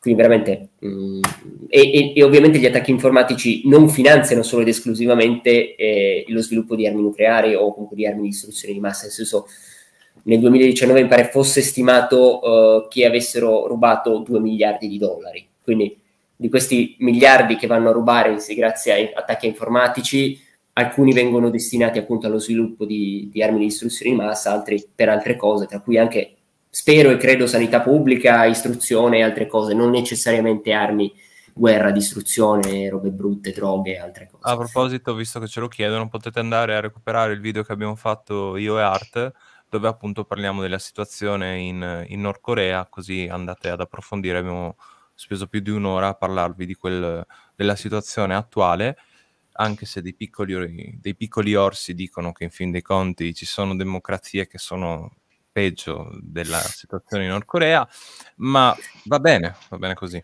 Finisco l'ultima slide dicendo che sempre questo rapporto delle Nazioni Unite riporta come la Corea del Nord nell'ultimo anno, ritorniamo sempre al 2023, eh, sia, si sia resa in realtà indipendente nella produzione di telai nella, nella, nella, nel, nell'utilizzo di leghe speciali e nella saldatura a gas inerte, inerte al tungsteno per la produzione di missili di qualsiasi tipo, ovviamente missili balistici, missili eh, razzi d'artiglieria come eh, i, i, 122 mm dei Grad o i, 140, i, 140, i 240 mm in realtà erano già autonomi. Eh, questo vuol dire che comunque la, la produzione nazionale è pressoché autonoma, se non per probabilmente parti come eh, parti diciamo hardware eh, di, di, di, un certo tipo come ad esempio girostabilizzatori, eh, controllo, controllo di bordo, insomma sistemi troppo tecnologici probabilmente sono ancora dipendenti da paesi come Cina e, e Russia, ovviamente non è confermato, potrebbero essere già autonomi, mentre comunque è confermato che la produzione diciamo del, del guscio eh, di quello che riguarda motori, eh, serbatoi e testate la Corea del Nord è totalmente indipendente, quindi possiamo già con eh, ovviamente con dovere di inventare, ma possiamo tranquillamente affermare che tra l'80 e il 90% dei missili, cioè del, scusate, l'80 e il 90% della produzione di un missile sia fatta autonomamente dalla Corea del Nord e, e che solo in realtà una parte minima sia ancora forse eh, dipendente appunto da esportazioni estere. Questo eh, ce la dice lunga, ce lo dice lunga su tante cose, tra cui ovviamente eh, quando ci parlano di, dell'incapacità nordcoreana, della loro arretratezza e tutto il resto, sono arretrati ma comunque ormai sono in grado di fare molte cose. Non so, uh, io ho terminato, non so se ci sono magari delle domande. No, sono... leggevo in chat grosso modo, a parte la domanda giusta che ha fatto Lord Poison, diciamo che ci siamo. Quindi direi di concludere con l'ultimo argomento, daremo la, la parola ad Alex, prendiamo ancora un attimo fiato così anche vado a prendere i, i file. Eh, invito come in ogni pausa a lasciare un like, questo aiuta il canale, visto che abbiamo avuto anche un piccolo problema a inizio della live, abbiamo perso alcuni preziosi eh, like che erano già stati messi sulla fiducia. Ci vediamo tra 20 secondi.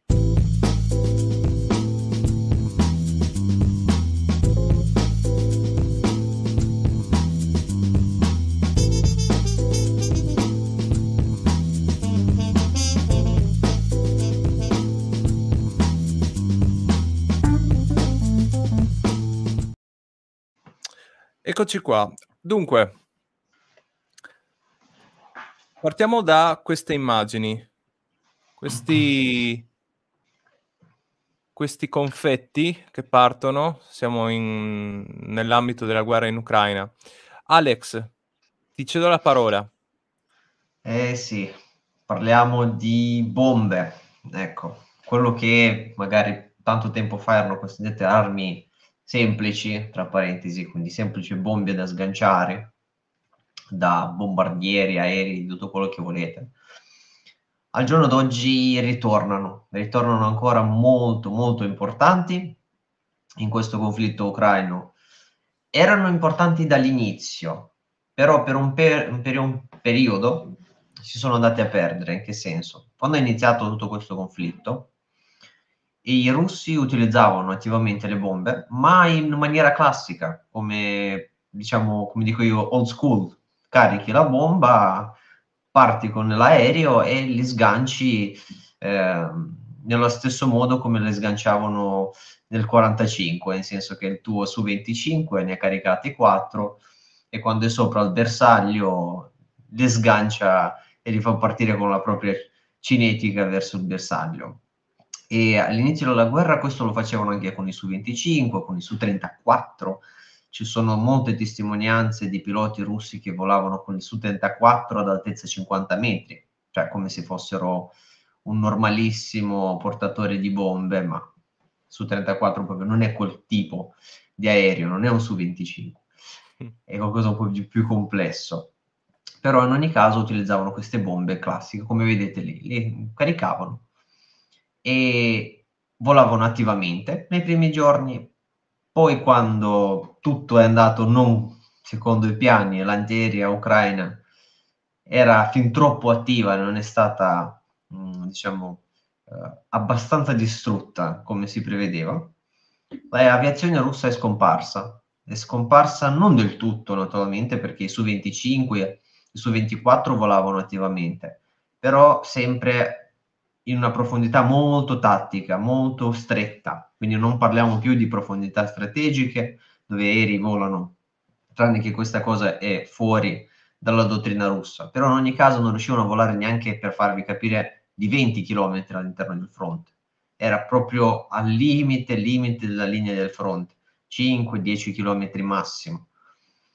All'improvviso però, cioè all'improvviso, uh, prima ancora di Bakhmut in realtà, quindi parliamo dell'inizio del 2023, iniziano a, compare, a comparire queste bombe planari.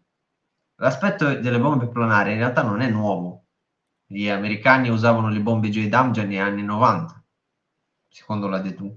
Gli americani chiamano JDAM. Cos'è una bomba JDAM? È una bomba classica, vecchia, negli anni 60, anni 50, è una bomba a cui viene indossato un un involucro speciale che la rende più aerodinamica, All'interno ci mettono naturalmente eh, la parte elettronica collegata al GPS, la parte satellitare, e in questo modo una vecchia bomba convenzionale viene trasformata in un'arma di precisione e avendo questo eh, sistema planare riesce a volare per decine di chilometri. Quindi viene sganciata da certe altitudini, a certe velocità e lei ha una forza cinetica abbastanza per volare decine di chilometri ed essere molto precisa. E questa è tecnologia degli anni 90. I russi non lo hanno... Esatto, esatto. E Cioè, questa è la versione praticamente immaginare la parte verde della bomba, ok? Più ovviamente anche la parte posteriore, con addosso questa sorta di eh, abito, diciamo, tecnologico che gli consente di andare a planare e soprattutto di essere condotta anche tramite le, le alette che gli consentono la, direz- la direzionalità al, e anche ovviamente un GPS. È il discorso che facevamo Certo. prima, in estrema Sì. sintesi chiaramente. si impostano le coordinate e lei fa il massimo per portare questa bomba il più preciso possibile sulle coordinate indicate. E, mh, ai russi questo non interessava, non le hanno mai utilizzate, mai utilizzate le JDAM. Le hanno sviluppate, le hanno sviluppate, c'erano già sviluppi, però non le hanno mai, mai, mai, mai, mai, mai utilizzate. Loro avevano un altro sistema molto preciso, bisogna dire la verità, loro lo chiamavano si chiama GIFEST. Eh, è un sistema di, mh, diciamo, tutto un sistema di combattimento particolare in- installato all'interno dell'aereo che permette al pilota di calcolare tutti i dati di cui ha bisogno e sganciare questa bomba nella maniera più precisa possibile. Bisogna riconoscere che l'hanno utilizzato moltissimo questo GIFEST in Siria e le bombe cadevano molto precise, loro lo chiamavano eh, farti arrivare la bomba nella finestra di casa ed è un sistema molto preciso, ma rimane comunque il problema. La bomba va portata praticamente sotto al tuo bersaglio e quando parliamo di Siria, quando non c'è una guerra di eh, antiaerea, non c'è problema, Gifest andava più che bene. In Ucraina questo non andava bene. Bisogna dare maggiore libertà all'aereo, farlo rimanere fuori dalle, dalla gittata del contraereo ucraina. E qui si ricordano eh, delle JDAM, delle bombe planari. E iniziano a introdurre, iniziano a provare. Inizieranno loro con le bombe da 250 kg. Hanno avuto successo, parliamo dell'inizio già quasi la metà, quasi la metà del 2023, quindi neanche tanto tempo, tempo fa, la metà del 2023. E se voi guardate bene le bombe russe, non è quella, quel livello tecnologico come hanno fatto gli americani con tutti dei pacchetti super sviluppati su misura. No, è semplicemente un, molto elementare, è acciaio saldato stretto con fascette attorno alla bomba, all'interno c'è un sistema di guida, basta. Cioè è veramente acciaio soldato stretto con fascette in acciaio sopra la bomba. Sono e i funziona. T-34 dell'era moderna praticamente, sono brutte, sono Eh. rozze, però sono funzionali. Ma hanno raggiunto con le bombe da 500 kg un livello di precisione mh, metrico, cioè proprio incredibile, anche se sono strette con fascette e sono saldate, queste JDAM, questi eh, sistemi planari, eh, precisione è metrica, proprio 5-10 metri, e per una bomba da 5 500 kg cambia ben poco. Eh, perché le bombe sono importanti? Sono un'arma importante e fa veramente così tanto discutere nella guerra ucraina. Bisogna capire che comunque una bomba da 500 kg all'interno ha 200 kg di esplosivo, ok? Io ci ho guardato, mi sono documentato, le Fab 500 hanno all'interno 200 kg di esplosivo. Quindi un solo colpo preciso ti permette di neutralizzare un bersaglio abbastanza importante, soprattutto parliamo di trincee. Quindi e cadono le trincee. Eh, sono abbastanza pre- sono precise per fare anche quello. E mh, ti va a neutralizzare una linea di trincee ed è costa di meno e soprattutto ci vuole meno tempo piuttosto che una preparazione di artiglieria. Quindi tu devi rischiare la tua artiglieria, devi portarla nelle vicinanze, devi portare le munizioni, coinvolgere la logistica, tutto questo ci vuole tempo, rischio e non è così efficace. Mentre prendi un aereo, ci sbatti sopra quattro bombe da 500 kg e lui lo sgancia. Volano queste, bombe per 70 km. Queste che esatto. vi ho esatto. tirato fuori sono tre bombe, sono tre fab da 500. Ovviamente esatto. la, la, proporzione non so se si riesce a vedere, però... Possiamo dire che sono molto precise perché sono cadute tutte e tre sulla linea di alberi, dove bisognava... No, veramente, ci sono tantissimi video, potete andare a trovarle, hanno raggiunto un livello di precisione incredibile. E con queste bombe. All'inizio ne usavano una, per su 34, poi due, adesso ne sganciano quattro per aereo, subito.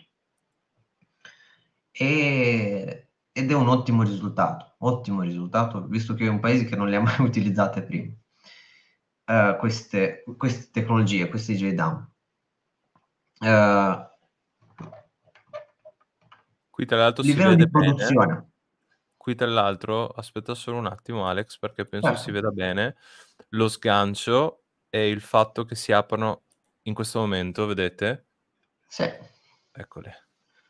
E volano per 70 km, 60-70 km al massimo, queste. Poi vedremo dopo cosa si fa, che si può anche fare molto di più.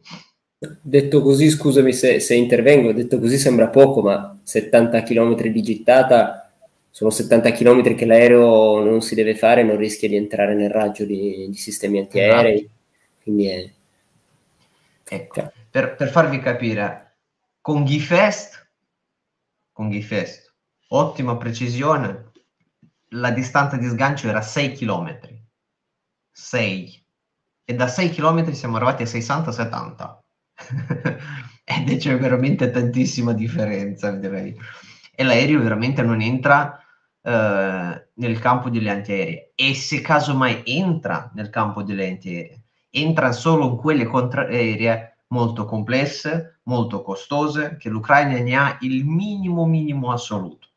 Quindi parliamo di tutte quelle Iris-T, eh, Patriot proprio, e bisogna capire che questi sistemi cost- costano, sono pochi, e non comprano fronti così enormi. E soprattutto, devo, devo raccontarvi questa, è importante capire che questi sistemi contraerei ucraini non è che stanno tutti sul fronte. Quindi il governo li deve decidere dove posizionare. O tu li posizioni a Kiev, o li tu li posizioni al fronte, o magari li posizioni a Kharkov, o difendi una centrale nucleare. Quindi spesso succede che, e succedeva, specialmente nel periodo del Avdeivka, per farvi capire, quando volavano veramente aerei ogni minuto e in un'ora, in un giorno, in un giorno, in un'ora, eh, potevano caderti addosso 300 bombe da diverso calibro in un giorno, 300 bombe. Ecco, quello è stato il periodo quando i Patriot erano a Kiev. Poi le hanno spostate ad Avdeevka, hanno abbattuto un paio di aerei. Cosa c'è stato poco dopo? Mosca ha iniziato a lanciare missili contro Kiev. E quindi il governo ucraino è sempre costretto a far viaggiare questi contraerei o al fronte o a Kiev o al fronte. E Mosca gestisce questa cosa colpendo o di qua o di là. O faccio un'offensiva o colpisco Kiev. E questo funziona questo funziona per le antiaeree perché non ce ne sono così tante. E mh, tutto questo appoggiato naturalmente anche da un livello produttivo abbastanza importante perché i russi, oltre a averne già in riserva, però con questi ritmi, attualmente gli ucraini già da tempo dichiarano che di queste bombe possono cadere su tutto il fronte 300-400 bombe al giorno, senza problemi. Ai tempi della caduta di Avdiivka erano 300 solo da Avdiivka, qui mediamente sul fronte sono 300. Ed è tanto, lo stesso tanto perché queste bombe ti permettono di ammorbidire letteralmente le trincee, eh, radere al suolo in, interi centri abitati, distruggere ponti, con un solo colpo come nel video. Quindi fare grandi danni molto velocemente e soprattutto Kiev non riesce a rispondere perché non puoi abbattere queste bombe, devi lottare contro l'aviazione e adesso l'Ucraina non ha con cosa tanto combattere queste minacce. E siamo arrivati alle bombe da 500. Se le fai vedere anche nelle slide, perché mi piacerebbe sì. che le persone lo vedessero, che ci sono anche le bombe, adesso stanno arrivando, cioè stanno arrivando, sono già arrivate, le 1500.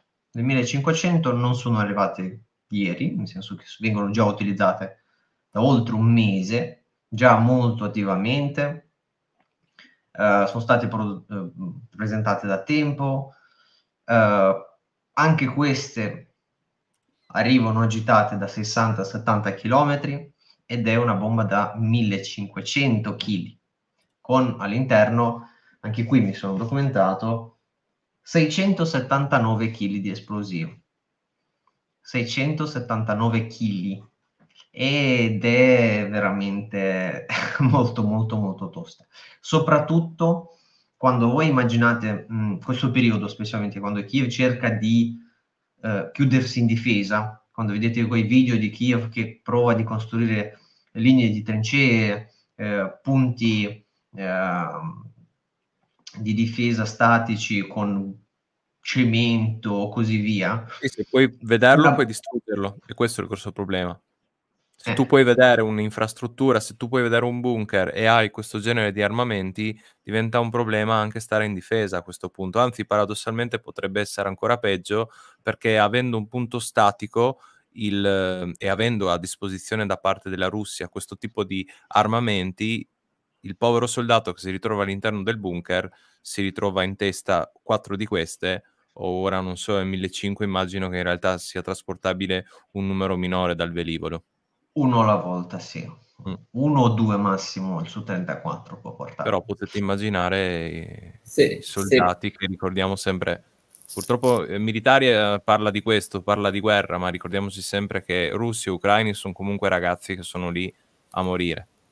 Scusa, Art, stavi dicendo? No, no volevo solo dire, eh, io sono completamente d'accordo con il vostro ragionamento ed è perfettamente vero.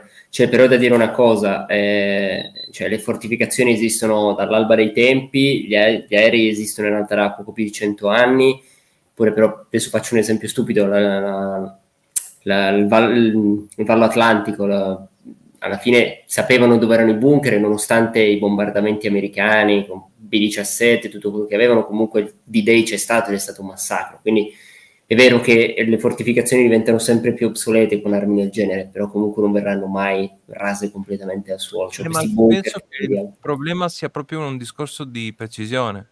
Cioè se tu pensi adesso la porto all'estremo però se tu pensi ad esempio i bombardieri i bombardieri eh, strategici portando sempre, visto che stavamo parlando di seconda guerra mondiale, non hanno mai avuto un grande successo contro, ad esempio, le navi. Perché? Perché tu nel momento in cui avevi un bombardiere strategico, lanciavi il tuo pacchetto di bombe, la nave non faceva altro che virare, soprattutto perché parliamo di alte quote. Discorso diverso è stato ad esempio per la Roma. La Roma è stata colpita in piena da un unico ordigno dalla bomba Fritz perché? Perché aveva la capacità di essere guidata, uno dei primi esempi di missili, possiamo considerare una sorta di missile, e aveva la capacità di precisione. Quindi tu capisci che se eh, il Vallo Atlantico avrebbe avuto in contrapposizione la possibilità da parte degli alleati, ad esempio, di andare ad avere degli attacchi mirati, beh, capisci che in questo caso il discorso cambia. Sì, questo, questo assolutamente, cioè non... però cioè, hai, hai Mm, scusa, non volevo sicuramente dire che... No, no, eh, hai sicuramente ragione eh, sul fatto che se dovessimo andare... Però il discorso è che qui il discorso cambia proprio certo. Perché oltre la potenza viene anche unito il discorso della precisione. E quindi eh, se tu hai un... Eh, cioè, da questo punto di vista, poi sicuramente se dovessi scegliere se stare dentro una fortificazione, se stare come in molti casi dentro una trincea, beh, penso che la scelta sia ovvia, eh, però... Poi mi, eh, mi, fa sempre pensare anche a questa cosa qua. Comunque le guerre di oggi, no, ad esempio, voi sapete benissimo, quando eh, leggete i ricordi dei, uh, soldati sovietici eh, dei 41, eh, perdere 500 persone al giorno solo su una determinata direzione, quindi si parlava di un battaglione al giorno buttato lì, poi il giorno dopo si riparte, era fattibile. Al giorno d'oggi, anche guardando bene, bene le trincee in giro per l'Ucraina, non vediamo quella densità di persone. Quindi spesso perdere, non dico un battaglione al giorno, perché più di 20 un battaglione al giorno adesso si, si, perde su tutta la lunghezza del fronte. Uh, nei, nei, casi più estremi, delle giornate più, più, più spaventose, diciamo arriva a 1000. Ai tempi di Bakhmut arrivavano a 1500 al giorno tra Bakhmut e tutto il fronte di perdite. Perdite, dico, come dicono i russi, 200 e 300 tra caduto e ferito eh, loro li chiamano così. Um, quindi le, questo tipo di bombe fa proprio questo, nel senso che hanno una precisione dannata. Quindi se tu hai 10 bunker, eh, sono 10 bombe. Quindi non è il bombardiere che deve arrivare, eh, sganciarti addosso non so quante bombe per avere una probabilità del 20-25% di prenderci eh, almeno un paio. Qui parliamo di una bomba che ti arriva precisa lì dove deve arrivare e, e se non fai qualcosa contro l'aereo con la bomba non la fermi. E questo è il problema. E poi è tutto lavoro della, dell'artiglieria e, e inizia, iniziano gli assalti. E però è un grosso problema. ecco perché appunto il vantaggio che aveva l'Ucraina dal punto di vista difensivo va a sciamare purtroppo proprio per questo genere e quindi anche le, le possibilità di giungere a un, a un, accordo più o meno vantaggioso nel tavolo delle trattative va a sciamare inevitabilmente perché eh, se uniamo il fattore della, dell'ormai sempre più scarsa capacità di uomini, di uomini eh, arruolabili di fatto da mandare al fronte al fatto che anche giocando in difesa, scusate questo termine non, non proprio, perché non stiamo parlando di un gioco chiaramente, beh, ehm, le cose diventano veramente drammatiche. E prima parlavamo a inizio del, del discorso degli F-16, fino al 2025 non so se gli ucraini possono permettersi di stare a questo ratio di perdite sia dal punto di vista tra l'altro tu segui la, la, la, la questione mi confermi che comunque anche dal punto di vista eh, strategico ogni giorno c'è un avanzamento anche costante, lento e costante da parte dei russi, oppure in questo momento c'è uno stand-by? No, adesso il fatto che adesso loro avanzano e potete andare a guardare anche sul mio Telegram che io seguo ogni giorno tutti gli avanzamenti, non parliamo soltanto di un ritmo stabile, ma a, a, su certe direzioni sono ritmi che crescono. E io, io il stile russo lo chiamo eh, piccoli passi, grandi risultati, in, sem- nel senso che loro manovrano, sembra che manovrano piano, ma lo fanno, nel senso che comunque fanno questi progressi da 300, 400, 500 metri al giorno, però mane- manovrano in, in un tale modo che passano, passa una settimana e poi questi progressi piccoli diventano una ritirata ucraina di 2-4 km quadri. Poi di nuovo questi, di nuovo queste piccole manovre e l'Ucraina è costretta a ritirarsi. Ogni settimana si ritirano da un grande pezzo o da un centro abitato o da mezzo centro abitato. Poi di nuovo ricominciano questi avanzamenti. E tutto questo è sostenuto da bombe, artiglieria, aviazione, poi ci sono anche elicotteri che pochi, se ne, pochi parlano, ma lavorano attivamente anche quelli e, magari non avete sentito, la, la, la, munizione preferita di elicotteristi russi è l'Emur. Parliamo di un missile con gittata 25 km e 25 kg. Uh, oh, 25 km, 15 km e 25 km. È già tardi, scusate. No, no siamo, siamo, in live, anzi no, adesso chiudiamo perché oggettivamente siamo in live da 2 ore e 10. Vedo che comunque ci sono ancora decine e decine di persone che ci stanno guardando, sì, mi fa piacere, o ascoltando, come qualcuno ha già detto 25 che abbandonava... kg di esplosivo e 15 km di gittata per, per gli elicotteri K-52 e Mi-28. Ehm, è così, quindi adesso è un periodaccio e sono sicuro che a maggio, io l'ho sempre detto, maggio, inizio estate, assisteremo a qualcosa, assisteremo a qualcosa, io, l'ho sempre detto perché quest'anno Ucraina non avrà, a parere mio, eh, iniziativa, ma manco, manco un mese, perché per organizzare Speriamo. l'offensiva, per organizzare Speriamo. l'offensiva dell'anno scorso, ah? Speriamo, Finiamo, finiamo. perché buttarsi in un'altra offensiva non ha assolutamente un senso. Cioè, No, già la no. prima io onestamente, e tra l'altro quello era il momento di trattare, è abbastanza palese. L'hanno Però- organizzata in sette mesi la scorsa offensiva, sette mesi per organizzarla. Eh, quindi siamo già ad aprile, basta, fine anno. Prossimo anno, insomma, prossimo anno. Vedremo, Ehm, saremo qui a raccontarvelo. Bene, Alex, io ti ringrazio, ringrazio Arturo Giusti, il collaboratore del canale anche, e il buon. Daily che ci ha raccontato nella prima parte il discorso degli F-16 insieme a Leonardo Leanzara e anche Grazie ovviamente a voi. Militare. Ovviamente troverete tutti quanti i link per collegarvi al loro lavoro sia sul campo social che anche quello cartaceo, come detto anche eh, dal punto di vista dei libri scritti, ad esempio dal buon art. Io vi invito, è importantissimo, lo ricordo sempre questo, lasciare un like, condividere il, il video e soprattutto fateci sapere anche la vostra in maniera civile, anche se non pensate, non la pensate come noi qui sotto con un vostro commento. Inoltre, cosa molto utile per le prossime live, vi invito ad iscrivervi al canale e attivare la campanella. Detto questo, ora che ho fatto lo youtuber vero, quello che vi dice cosa fare esattamente, io vi auguro una buona notte per chi sta guardando adesso in diretta e invece un buongiorno se ci state guardando in differita. Ciao a tutti, lascio l'ultima parola agli ospiti. Ciao Alex, ciao Art e ciao Daily. Ciao a tutti. Buona serata, grazie mille. Ciao, ciao. A presto su Gens Italia.